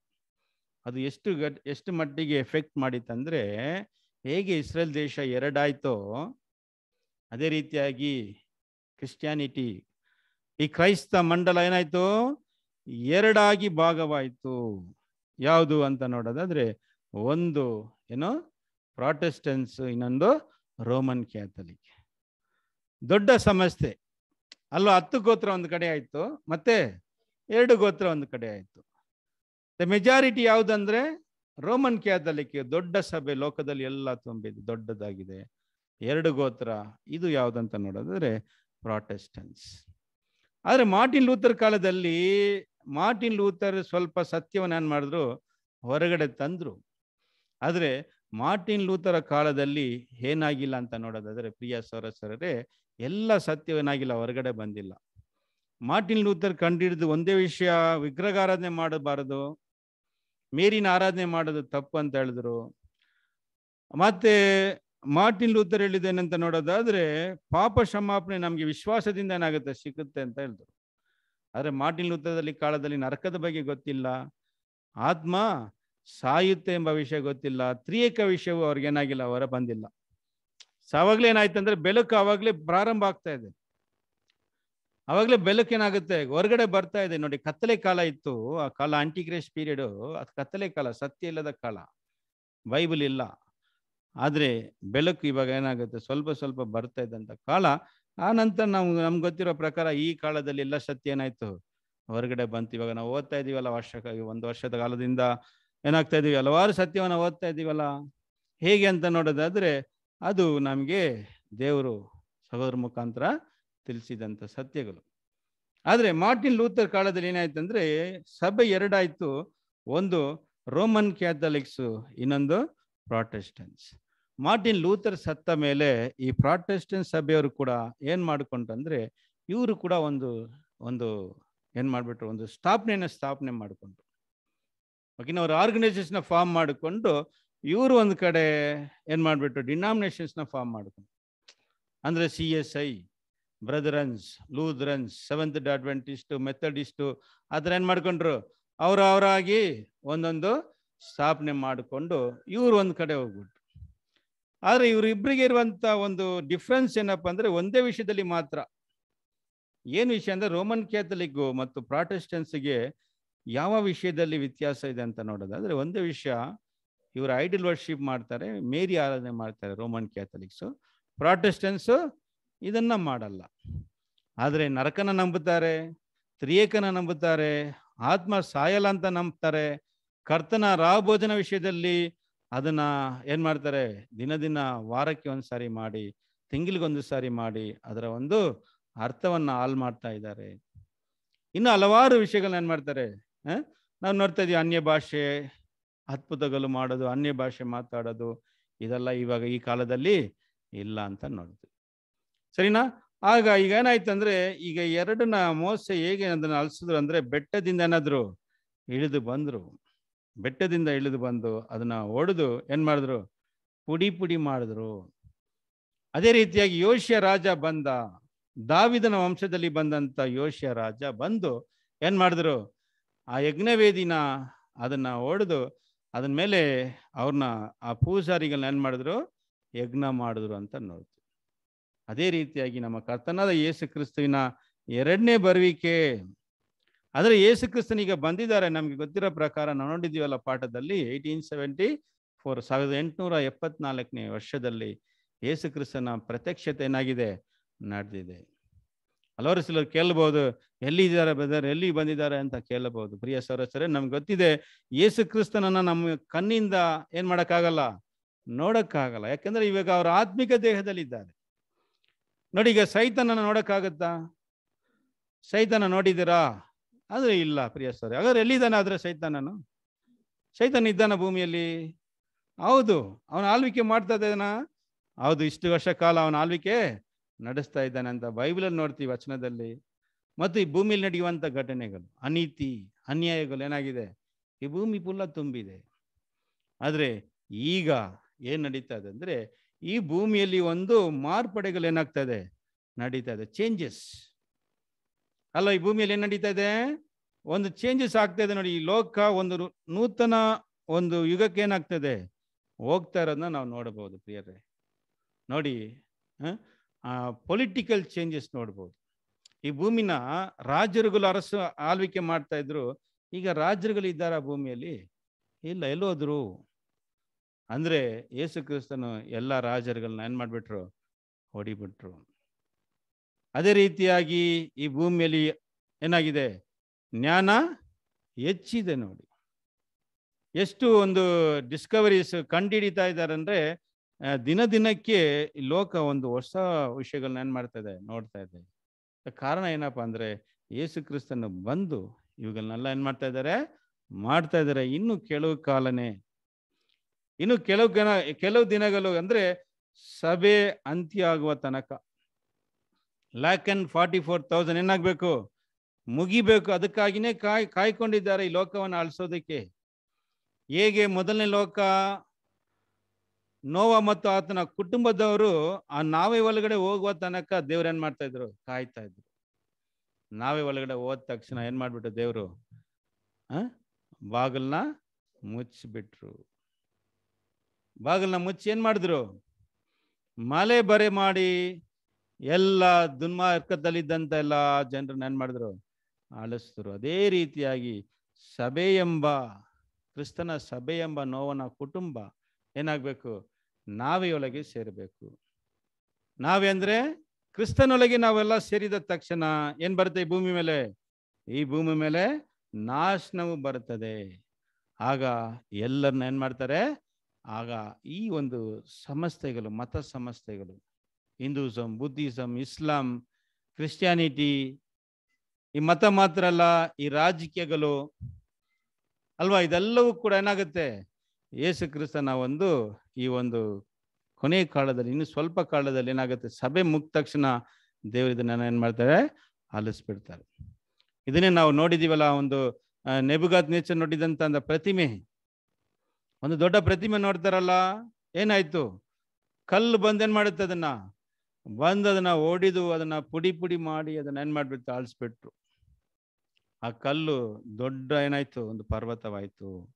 ಅದೇ ರೀತಿಯಾಗಿ ದೇವರ ರಾಜ್ಯವು ಈಗ ಏನಾಗುತ್ತೆ? ಸ್ಥಾಪನೆ ಆಗುತ್ತೆ ಬೇಗನೆ. ಎಲ್ಲ ಮತಗಳು, ಎಲ್ಲ ರಾಜಕೀಯಗಳು ಕೂಡ ಏನಾಗುತ್ತೆ? ಅಂತ್ಯ ಆಗುತ್ತೆ ಅಂತ ನೋಡ್ತೀವಿ ಪ್ರಿಯ ಸರಸ್ವರಿಯರೇ ಸರಿ, ಈಗ ನಮ್ಮ ಪಾಲು ಏನು ಅಂತ ನೋಡೋದಾದ್ರೆ, ಈಗ ನಮ್ಮ ಒಂದು ಪಾಲು ಏನು? ಏನು ನಮ್ಮ ಪಾಲು ಅಂತ ನೋಡಬೇಕಾದ್ರೆ, ಮೋಸೆ ಏನ್ ಮಾಡಿದ್ರು ಅಲ್ಲಿ? ಮೋಸೆ ಅಲ್ಲಿ ನಿಂತ್ಕೊಂಡು, ಬೆಟ್ಟದ ಮೇಲೆ ಬಂದು ನಿಂತ್ಕೊಂಡು ಏನ್ ಹೇಳಿದ್ರು? ಏನ್ ಹೇಳಿದ್ರು? ಯಾರೆಲ್ಲ ಯಗವನ ಕಡೆ ಇದ್ದೀರೋ ಅವರೆಲ್ಲನಾಗಿ ನನ್ನ ಕಡೆ ಬನ್ರಿ. ಓಕೆ ಆಮೇಲೆ ಏನಿದ್ರು ನಿಮ್ಮ ಕತ್ತಿನ ಎತ್ಕೊಳ್ರಿ. ನಿಮ್ಮ ಸಹೋದರರು, ಸಹೋದರಿಯರು, ನಿಮ್ಮ ಸ್ನೇಹಿತರು ಎಲ್ಲರನ್ನ ಏನ್ ಮಾಡ್ರಿ? ಸಮರ್ಣೆ ಮಾಡಿ ಅಂದ್ರೆ ಏನಪ್ಪಾ ಅಂದ್ರೆ ನಾವು ಈಗ ಈ ಕರೆನ ಯೇಸು ಕ್ರಿಸ್ತನು ಬಂದಿರುವ ವಿಷಯವನ್ನ ತಿಳಿದು ಸತ್ಯವನ್ನ ತಿಳಿದಂತ ನಾವು ಏನಾಗಬೇಕು ಇವಾಗ ಅಂದ್ರೆ ನಮ್ಮ ಇಷ್ಟು ಕಾಲ ಇದ್ದ ಇದ್ದೀವಲ್ಲ ನಾ ಎಲ್ಲಿ ಇದ್ದಿದ್ದ ಇಷ್ಟು ಕಾಲ? ಲೋಕದಲ್ಲಿ ಹೆಸರು ಕ್ರಿಸ್ತದ ಮಧ್ಯದಲ್ಲಿ ಇದ್ದೋ ಅವನ್ನ ಬಿಟ್ಟು ಏನಾಗಬೇಕು? ಬಿಟ್ಟು ದೂರ ಆಗಬೇಕು. ಕತ್ತಿ ಎತ್ಕೊಂಡು ಅವನ್ನ ಏನು ಮಾಡಬೇಕು? ಸಮರ್ನ ಮಾಡ್ರಿ. ಕತ್ತಿ ತಗೊಳ್ಳಿ ಮನೆಯಿಂದ. ಕತ್ತಿ ದೊಡ್ಡ ದೊಡ್ಡ ಕತ್ತಿ ತಗೊಂಡು ನಮ್ಮ ಸಹೋದರನ ಸಹೋದರಿನ ಏನು ಮಾಡ್ಬೇಕು? ನಮ್ಮ ಸ್ನೇಹಿತರನ್ನ ಸಮರ್ನ ಮಾಡ್ಬೇಕು. ಕತ್ತಿ ಅಂದ್ರೆ ಏನರ್ಥ? ದೇವರ ವಾಕ್ಯ ಹೆಬ್ಬಾಗಿ ಆ, ಕತ್ತಿದ ಎರಡು ಕಡೆ. ಅಂದ್ರೆ ದೇವರ ಸತ್ಯವನ್ನ ಇಟ್ಕೊಂಡು ಹೇಳಿ. ಸತ್ಯಕ್ಕೆ ಅವರು ಕಿವಿ ಕೊಟ್ಟಿಲ್ಲ. ಈ ಸತ್ಯವನ್ನು ಅವರು ಸ್ವೀಕಾರ ಮಾಡಿಲ್ಲ ಅಂದ್ರೆ ಏನ್ ಮಾಡಿ? ಅವರಿಂದ ರಿಲೇಶನ್ಶಿಪ್ನ ಕಟ್ ಮಾಡಿ. ಹೌದು ಪ್ರಿಯ ಸೌರಸರೇ ಯಾರೆಲ್ಲ ಸತ್ಯಕ್ಕೆ ವಿಜಯರಾಗಲ್ವೋ ಅಲ್ವಾ? ಈಗ ಯೇಸು ಕ್ರಿಸ್ತನ ಬಂದು ನಮ್ಮನ್ನ ಕರೆ ಕೊಡ್ತಾ ಇದ್ದಾರೆ. ಕರೆನ ಕೊಡ್ತಾ ಇದ್ದಾರೆ. ಯಾರು ಯಾವನ ಕಡೆ ಇದ್ದೀರಾ? ಅವರೆಲ್ಲ ಏನಾಗಿ? ಈ ಒಂದು ಬಸವವನ್ನ ಬಿಟ್ಟು, ಇವ್ರು ಮಾಡುವಂತ ಆರಾಧನೆ ಬಿಟ್ಟು ಬನ್ರಿ ಅಂತ ಕರಿಬೇಕಾದ್ರೆ ಲೇವಿಯರ್ ಮಾತ್ರ ಬಂದ್ರು ಪ್ರಿಯ ಸರೇ ಆದ್ರಿಂದಾನೇ ಲೇವಿಯರ್ನ ದೇವರು ಏನಕ್ಕೆ ಆರಿಸ್ಕೊಂಡ್ರು? ದೇವದರ್ಶನ ಕೂಡಾರದಲ್ಲಿ ಆರಾಧನೆ ಮಾಡೋಕೆ ಆರಿಸ್ಕೊಂಡ್ರು ಪ್ರಿಯ ಸರೇ ನಾವು ಇನ್ನೂ ಅಲ್ಲೇ ಇದ್ಕೊಂಡಿದ್ರೆ ಕೆಲವ್ರು ಏನಾಗಿರ್ತಾರೆ, ಬಿಟ್ಟು ಬಂದಿರ್ತಾರೆ, ಆದರೂ ಕೂಡ ಮನಸ್ಸಲ್ಲ ಅಲ್ಲಿರ್ತದೆ ಅಲ್ಲಿರ್ತದೆ ದೇಹ ಮಾತ್ರ ಬಂದು ಏನಾಗಿರ್ತದೆ, ಕೂತಿರ್ತದೆ ಪ್ರಿಯ ಸರಸ್ವರರೇ ಆದ್ರೆ ದೇಹ ಮಾತ್ರ ಅಲ್ಲ, ಮನಸ್ಸು ಕೂಡ ಏನಾಗ್ಬೇಕು ಅಲ್ಲಿಂದ? ಬಿಟ್ಟು ಬರಬೇಕು. ನೋಡಿ, ಪ್ರಕಟಣೆ ಹದಿನೆಂಟನೇ ಅಧ್ಯಾಯದಲ್ಲಿ ನಾಲ್ಕನೇ ವಚನದಲ್ಲಿ ನಾವು ಓದಿದಿ ಓದುವಂತ ವಚನ ಓದನ ಪ್ರಕಟಣೆ ಹದಿನೆಂಟು ನಾಲ್ಕು ಓದಕ್ಕೆ ಪರಲೋಕದಿಂದ ಬಂದ ಮತ್ತೊಂದು ಶಬ್ದವನ್ನು ಕೇಳಿದೆನು. ಅದು ಹೇಳಿದ್ದೇನೆಂದರೆ ನನ್ನ ಪ್ರಜೆಗಳೇ ಅವಳನ್ನು ಬಿಟ್ಟು ಬನ್ನಿರಿ. ನೀವು ಅವಳ ಪಾಪಗಳಲ್ಲಿ ಪಾಲುಗಾರರಾಗಬಾರದು. ಅವಳಿಗಾಗುವ ಉಪದ್ರವಗಳಿಗೆ ಗುರಿಯಾಗಬಾರದು. ಅವಳ ಪಾಪಗಳು ಒಂದರ ಮೇಲೊಂದು ಸೇರಿ ಆಕಾಶದ ಪರ್ಯಂತರಕ್ಕೂ ಬೆಳೆದವೆ. ಪ್ರಿಯ ಸರಿ ಅವಳ ಪಾಪವು ಎಷ್ಟು ಮಟ್ಟಿಗೆ ಹೋಯ್ತಂತೆ? ಆಕಾಶದ ನಾವ್ ಅನ್ಕೊಳ್ತೀವಿ ಏನ್ ಪಾಪ ಮಾಡ್ಬಿಟ್ರು ಬಜಾರ್ ಅಂತ. ಯಾರು? ಹೆಸರು ಕ್ರೈಸ್ತ ಇದ್ದಾರಲ್ಲ, ಅವ್ರು ಏನ್ ಪಾಪ ಮಾಡ್ಬಿಟ್ರು ಅಂದ್ರೆ ದೇವರ ಸತ್ಯವನ್ನ ಏನ್ ಮಾಡ್ತಾರೆ? ತಪ್ಪಾಗಿ ಬೋಧಿಸಿ ದೇವರ ಯೋಜನೆಗಳನ್ನ ಏನ್ ಮಾಡ್ತಾರೆ? ಕೆಡಿಸ್ತಾ ಇದ್ದಾರೆ ನೋಡ್ರಿ. ನೋಡಿ ಏನ್ ಹೇಳ್ತಾರೆ? ಪರಲೋಕ, ನರಕ. ಯೇಸುನ ಸ್ವೀಕರಿಸಿದ್ರೆ ನಾವು ಪರಲೋಕ ಹೋಗ್ಬಿಡ್ತೀವಿ. ಯೇಸುನ ಸ್ವೀಕರಿಸಲಿಲ್ಲ ಅಂದ್ರೆ ನರಕಕ್ಕೆ ಹೋಗ್ತೀವಿ. ಆಮೇಲೆ ಏನಾಗುತ್ತೆ ಬ್ರದರ್ ಆಮೇಲೆ ನಾವು ಪರಲೋಕದಲ್ಲಿ ಜಾಲಿಯಾಗಿ ಅಲೆಲುಯ ಅಂತ ಸ್ತೋತ್ರ ಮಾಡ್ತಾ ಇರ್ತೀವಿ. ನಾವು ಅವರು, ಅಯ್ಯೋ ಅಮ್ಮ, ಉರಿ ಉರಿ ಉರಿ ಅಂತ ಏನ್ ಮಾಡ್ತಾ ಇರ್ತಾರೆ? ಕಿರಿಸ್ತಾ ಇರ್ತಾರಂತೆ ಎಷ್ಟು ಕಾಲಕ್ಕೆ? ಇದು ಸತ್ಯ ಅಂತೆ. ಇದು ದೇವರ ಒಂದು ಏನ್ ಸಂತೋಷ ಇದೆ? ಹಾಗಾದ್ರೆ ಸ್ವಲ್ಪ ಜನ ಮಾತ್ರ ಅಲ್ಲಿ ಇರ್ಬೇಕು. ಪರಲೋಕದಲ್ಲಿ ಇರ್ಬೇಕು. ಮಿಕ್ಕವರೆಲ್ಲ ನರಕದಲ್ಲಿ. ಇದೇ ದೇವರ ಯೋಜನೆ ಅಂತ ಹೇಳ್ತಾರೆ. ಪ್ರಿಯ ಸರಸರೇ ದೇವ್ರಿಟ್ಟಿರುವಂತ ಯೋಜನೆ ನೋಡಿ. ಪರಲೋಕದಲ್ಲಿ ಅವರ ಚಿತ್ತವು ಹೇಗೆಯೋ ಅದೇ ರೀತಿಯಾಗಿ ಭೂಮಿಲಿ ಏನಾಗ್ಬೇಕು ಅವರ ಚಿತ್ತ ನೆರವೇರಬೇಕು. ಅವರ ರಾಜ್ಯವು ಬರ್ತದೆ ಎಲ್ಲ ಕಣ್ಣೀರ್ನ ಅವ್ರು ಏನು ಮಾಡ್ತಾರೆ? ಒರೆಸ್ತಾರೆ. ಸತ್ತವರೆಲ್ಲ ಎದ್ದು ಬರ್ತಾರೆ. ಇನ್ ಮುಂದೆ ಕುರುಟ್ರು ಕುರುಡ್ರು ಇರಲ್ಲ ಕಿವುಡ್ರು ಇರಲ್ಲ ಇರಲ್ಲ ಎಲ್ಲರನ್ನ ಯೇಸು ಕ್ರಿಸ್ತನ್ ಏನ್ ಮಾಡ್ತಾನೆ? ವಾಶಿ ಮಾಡ್ತಾನೆ. ಇದೇ ಒಂದು ಸುವಾರ್ತೆ. ಗಾಸ್ಪಲ್ ಅಂದ್ರೆ ಏನು ಅಂದ್ರೆ ಎಲ್ಲರಿಗೇನಿದೆ? ಪುನರುತ್ಥಾನ ಇದೆ. ಸತ್ತವರೆಲ್ಲ ಎದ್ದು ಬರ್ತಾರೆ. ಎಲ್ಲ ಪಾಪಿಗಳು ಮನ ತಿರ್ಗಕ್ಕೆ ಒಂದು ಅವಕಾಶ ಏನಾಗುತ್ತೆ ಕೊಡಲ್ಪಡುತ್ತದೆ. ಅಲ್ವಾ? ಎಲ್ಲ ಪಾಪಿಗಳಿಗೆ ಏನ್ ಮಾಡ್ತಾರೆ ದೇವರು? ಅವಕಾಶ ಕೊಡ್ತಾರೆ. ತಿದ್ಕೊಳ್ಳಿ, ಇಷ್ಟು ಕಾಲ ನೀವೇನ್ ಮಾಡಿದ್ರಿ? ತಪ್ಪು ಮಾಡಿದ್ರಿ, ನಿಮ್ಮ ಮಾರ್ಗದಲ್ಲಿ ಹೋದ್ರಿ. ಆದ್ರೆ ಇನ್ ಮುಂದಾದ್ರೆ ಏನಾಗ್ರಿ? ತಿದ್ಕೊಳ್ಳಿ ಅಂತ ಅವಕಾಶ ಕೊಡ್ತಾರೆ. ಯಾರೆಲ್ಲ ತಿದ್ಕೊಳ್ತಾರೋ ಅವರಿಗೆ ನಿತ್ಯ ಜೀವ ಕೊಡ್ತಾರೆ. ಯಾರೆಲ್ಲ ತಿದ್ಕೊಳ್ಳೋರು ಇದ್ದಾರೋ ಅವ್ರನ್ನ ಏನ್ ಮಾಡ್ತಾರೆ? ಎರಡನೇ ಮರಣದಲ್ಲಿ ನಾಶ ಮಾಡ್ತಾರೆ. ಅಷ್ಟೇ ಅವ್ರನ್ನ ನಾಶ ಮಾಡೋದೇ ಅಲ್ಲ ಅವ್ರನ್ನ ಇಟ್ಕೊಂಡು ಡೈಲಿ ಬೆಂಕಿಲಿ ಹಾಕಿ ಅವ್ರನ್ನ, ಅಯ್ಯೋ, ಅಮ್ಮ, ಉರಿ ಅಂತ ಟಾರ್ಚರ್ ಕೊಡ್ತಾ ಇದ್ರೆ ದೇವ್ರಿಗೆ ಏನಾದರೂ ಪ್ರಾಫಿಟ್ ಇದೆಯಾ? ಒಬ್ಬರನ್ನ ಶಿಕ್ಷಿಸುವಂತ ಉದ್ದೇಶ ಏನು? ಯಾಕೆ ಶಿಕ್ಷಿಸ್ತೀವಿ ಒಬ್ಬರನ್ನ? ತಿದ್ಕೊಳ್ಳೋಕ್ಕೇನೆ ಶಿಕ್ಷಿ- ಶಿಕ್ಷಿಸ್ತೀವಿ. ತಿದ್ಕೋದಿಲ್ಲ ಅಂದ್ರೆ ಏನು ಮಾಡ್ತೀವಿ? ಬಿಟ್ಬಿಡ್ಬೇಕು. ಅಲ್ವಾ? ಏನಾದರೂ ನಮ್ಗೇನಾದರೂ ಪ್ರಯೋಜನ ಇದೆ ಅಂದ್ರೆ, ಇಲ್ಲ ಪ್ರಿಯ ಸರೋಸರರೇ ದೇವ್ರು ಇಂತಹ ಯೋಜನೆ ನಮ್ಗೆ ಇಟ್ಟಿದ್ದಾರೆ, ಆದರೆ ನಾವೇನಾಗ್ಬೇಕಂತ ನಮ್ಮ ಪಾಲೇನೆಂದರೆ ಬಿಟ್ಟು ಬರಬೇಕು. ಕತ್ತಿನ ಹತ್ಕೊಳ್ಳಿ ಏನು ಮಾಡ್ರಿ? ಸತ್ಯವನ್ನು ಸಾರಿರಿ. ಇದೇ ಸತ್ಯ ಅಂತ ನಮಗೆ ಸಿಕ್ಕುವಂಥ ಅವಕಾಶ, ಯಾರಿಗೆಲ್ಲ ಹೇಳಕ್ಕೆ ಅವಕಾಶ ಸಿಗುತ್ತೋ ಅವ್ರಿಗೆ ಹೇಳಿ. ಅದನ್ನ ಅವರು ಸ್ವೀಕರಿಸಲಿಲ್ಲ ಅಂದ್ರೆ ಏನಾಗ್ರಿ? ಅವ್ರನ್ನ ಬಿಟ್ಟು ಅವರಿಂದ ದೂರ ಬನ್ರಿ ಪ್ರಿಯ ಸರಸ್ವರಿ ನಾವು ಅಲ್ಲೇ ಇದ್ಕೊಂಡ್ರೆ, ಈಗ ವಚನದಲ್ಲಿ ನಾವು ಹೇಳಿದ್ದು, ಅವರ ಪಾಪಕ್ಕೆ ನೀವೇನಾಗ್ಬೇಡ್ರಿ? ಪಾಲುಗಾರರಾಗಬೇಡ್ರಿ. ನನ್ನ ಪ್ರಜೆಗಳೇ, ಅವಳನ್ನ ಬಿಟ್ಟನಾಗಬೇಕು, ಬರಬೇಕು. ದೇಹ ಮಾತ್ರ ಅಲ್ಲ, ಏನು, ಮನಸ್ಸು ಸೇರಿ ಬರಬೇಕು ಪ್ರಿಯ ಸರೋಜ ನೋಡಿ, ಅಲ್ಲಿ ಆ ರಾಜ ನೋಡಿ ಎರಬಾಮು ಚರಬಾಮ್ ಏನ್ ಮಾಡ್ದ? ಏನ್ ಹಿಂಗೆ ತಡೆ ಮಾಡ್ದ ನೋಡ್ರ? ಹಿಂಗೆ ತಡೆ ಮಾಡ್ದ? ಅದೇ ರೀತಿಯಾಗಿ ಹಬ್ಬಗಳನ್ನ ಮಾಡ್ಬಿಟ್ಟ. ಇಸ, ಜೆರುಸಲೇಮಲ್ಲಿ ಏನ ಹಬ್ಬ ದಿನ ಆಗುತ್ತೋ, ಅದೇ ದಿನದಲ್ಲಿ ಇವನ್ ಏನ್ ಮಾಡ್ಬಿಟ್ಟ? ಇಲ್ಲಿ ಹಬ್ಬಗಳು ಮಾಡಿಬಿಟ್ಟ. ಹಬ್ಬ ಅಂದ್ರೆ ತುಂಬಾ ಸಂತೋಷ ಅಲ್ವಾ?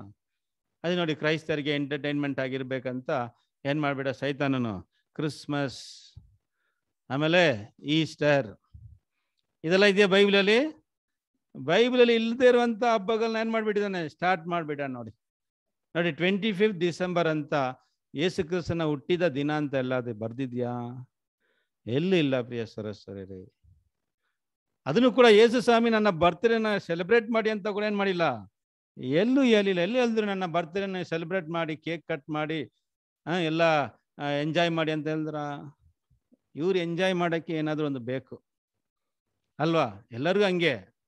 ಎಲ್ಲರೂ ಭಕ್ತಿಗಾಗಿ ಮಾಡ್ತಾ ಇಲ್ಲ. ನೋಡಿ ಇವಾಗ ಗಣೇಶ ಹಬ್ಬ ಮಾಡ್ತಾರೆ. ಅದು ಗಣೇಶ ಮೇಲೆ ಇರುವಂತ ಭಕ್ತಿಯಿಂದ ಮಾಡ್ತಾರಾ? ಏನಕ್ಕೆ ಮಾಡ್ತಾರೆ? ಏನೋ ಅವ್ರ ಮುಂದೆ ಒಂದು ವಿಗ್ರಹ ಇರಬೇಕು, ಅದ್ರ ಮುಂದೆ ಚೆನ್ನಾಗಿ ಕುಡಿದ್ಬಿಟ್ಟು ಏನಾಗ್ಬೇಕು? ಡ್ಯಾನ್ಸ್ ಆಡಬೇಕು. ಅದು ಏನೋ, ಅದು ಗಣೇಶ ಇದ್ರೂ ಪರವಾಗಿಲ್ಲ, ಅಥವಾ ಮೇರಿ ಇದ್ರೂ ಪರವಾಗಿಲ್ಲ. ಮೇರಿ ಹಬ್ಬ ಬರ್ತದಲ್ಲ ನಾವು ನೋಡ್ತೀವಲ್ಲ, ಈಗ ಬಂದು ಹೋಯ್ತಲ್ಲ ಅದು ಇದ್ರೂ ಪರವಾಗಿಲ್ಲ. ಆದ್ರೆ ನಾವು ಎಂಜಾಯ್ ಮಾಡೋಕ್ಕೆ ಯಾವುದಾದ್ರೂ ಒಂದು ಹಬ್ಬ ಬೇಕು. ಅದೇ ರೀತಿಯಾಗಿ ಇವರು ಯೇಸು ಕ್ರಿಸ್ತು ಹುಟ್ಟಿದ್ರು. ಅಂತ ಸಂತೋಷದಿಂದ ಇವರು ಕ್ರಿಸ್ಮಸ್ ಮಾಡ್ತಾ ಇಲ್ಲ. ಅವತ್ತು ಏನು ನಡೀತಾ ಇದೆ ನೋಡ್ರಿ ನೀವೇ? ಅವತ್ತು ದಿನದಲ್ಲಿ ಯೇಸು ಕ್ರಿಸ್ತನ ಹುಟ್ಬಿಟ್ರು ಅಂತ ಎಲ್ಲರೂ ಪ್ರ, ಪ್ರ- ಪ್ರಾರ್ಥನೆ ಮಾಡಿ ಜಪ ಮಾಡಿಕೊಂಡು ಆ ಥರ ಇರ್ತಾರ? ಇಲ್ಲ. ಅವತ್ತೇನು ಫುಲ್ ವಿಸ್ಕಿ ಬ್ರಾಂಡಿ ಅಂತ ಕುಡಿದು ಬಿಟ್ಟು ಹೊಸ ಡ್ರೆಸ್ ಹಾಕೊಂಡು ಅವ್ರ ಹೆಸರಲ್ಲಿ ಬಿಟ್ಟು ಇವ್ರು ಎಂಜಾಯ್ ಮಾಡ್ತಾರೆ ಇದೆಲ್ಲ ಒಂದು ಸುಳ್ಳಾದ ಮನುಷ್ಯ ತನ್ನನ್ನು ಒಂದು ವಿಷಯವನ್ನು ತನ್ನ ಆಸೆಗಳನ್ನ ಮಚ್ಚೋದು, ಮುಚ್ಚೋದಕ್ಕೆ ಏಸು ಕ್ರಿಸ್ತನ ಹಬ್ಬನ ಇಟ್ಬಿಡೋಣ. ಅದೇ ರೀತಿಯಾಗಿ ಈಸ್ಟರು, ಈ ಗುಡ್ ಫ್ರೈಡೆ, ಇದೆಲ್ಲ ಕೂಡ ಬೈಬಲಲ್ಲಿ ಇಲ್ಲದಂಥ ವಿಷಯಗಳು. ಆದ್ದರಿಂದ ಪ್ರಿಯ ಸರಸರರೇ ನಾವು ಈ ಒಂದು ಸಂಪ್ರದಾಯಗಳು, ಈ ಸುಳ್ಳಾದ ಬೋಧನೆಗಳು, ಈ ಸುಳ್ಳಾದ ಜನರಿಂದ ಬಿಟ್ಟನಾಗಬೇಕು, ದೂರ ಆಗಬೇಕು ಪ್ರಿಯ ಸರ್ ಅದೇ ನಾವು ಈ ಪಾಠದಲ್ಲಿ ನಮ್ಮ ಒಂದು ಭಾಗ ಏನಂತ ನೋಡೋದಾದ್ರೆ ಅಲ್ಲಿ ಮೋಸೆ ಹೇಳಿದ ಒಂದು ಕರೆಗೆ ನಾವೇನಾಗಬೇಕು? ವಿಧೇಯರಾಗಬೇಕು. ಅವನ ಬಿಟ್ಟು ದೂರ ಆಗಿ ಸತ್ಯ ಎಂಬ ಕತ್ತಿನ, ಕತ್ತಿಯಿಂದ ನಾವೇನ್ ಮಾಡಬೇಕು? ಸಮರ್ಣೆ ಮಾಡಬೇಕು. ಅದೇ ನಮಗೆ ದೇವರು ಕೊಡುವಂತ ವಿಷಯವು. ದೇವರ ಪ್ರಿಯ ಸರಸರ ದೇವರ ಒಂದು ಮಹಾಕೃಪೆಯಿಂದ ಈ ದಿನದಲ್ಲಿ ಕೂಡ ಈ ಒಂದು ಆರಾಧನೆಯಲ್ಲಿ ಈ ಒಂದು ಪಾಠವನ್ನು ಧ್ಯಾನಿಸೋದಕ್ಕೆ ದೇವರು ನಮಗೆ ಕೃಪೆ ಮಾಡಿದ್ದಾರೆ. ಅದಕ್ಕಾಗಿ ತಂದೆಯ ದೇವರಿಗೆ ನಾವು ಸ್ತುತಿ ಸ್ತೋತ್ರಗಳನ್ನ ಹೇಳುತ್ತಾ ಈ ಪಾಠವನ್ನು ನಾನು ಅಂತ್ಯ ಮಾಡುತ್ತೇನೆ ಪ್ರಿಯ ಸದಸ್ಯರೇ. ಕೊನೆಯದಾಗಿ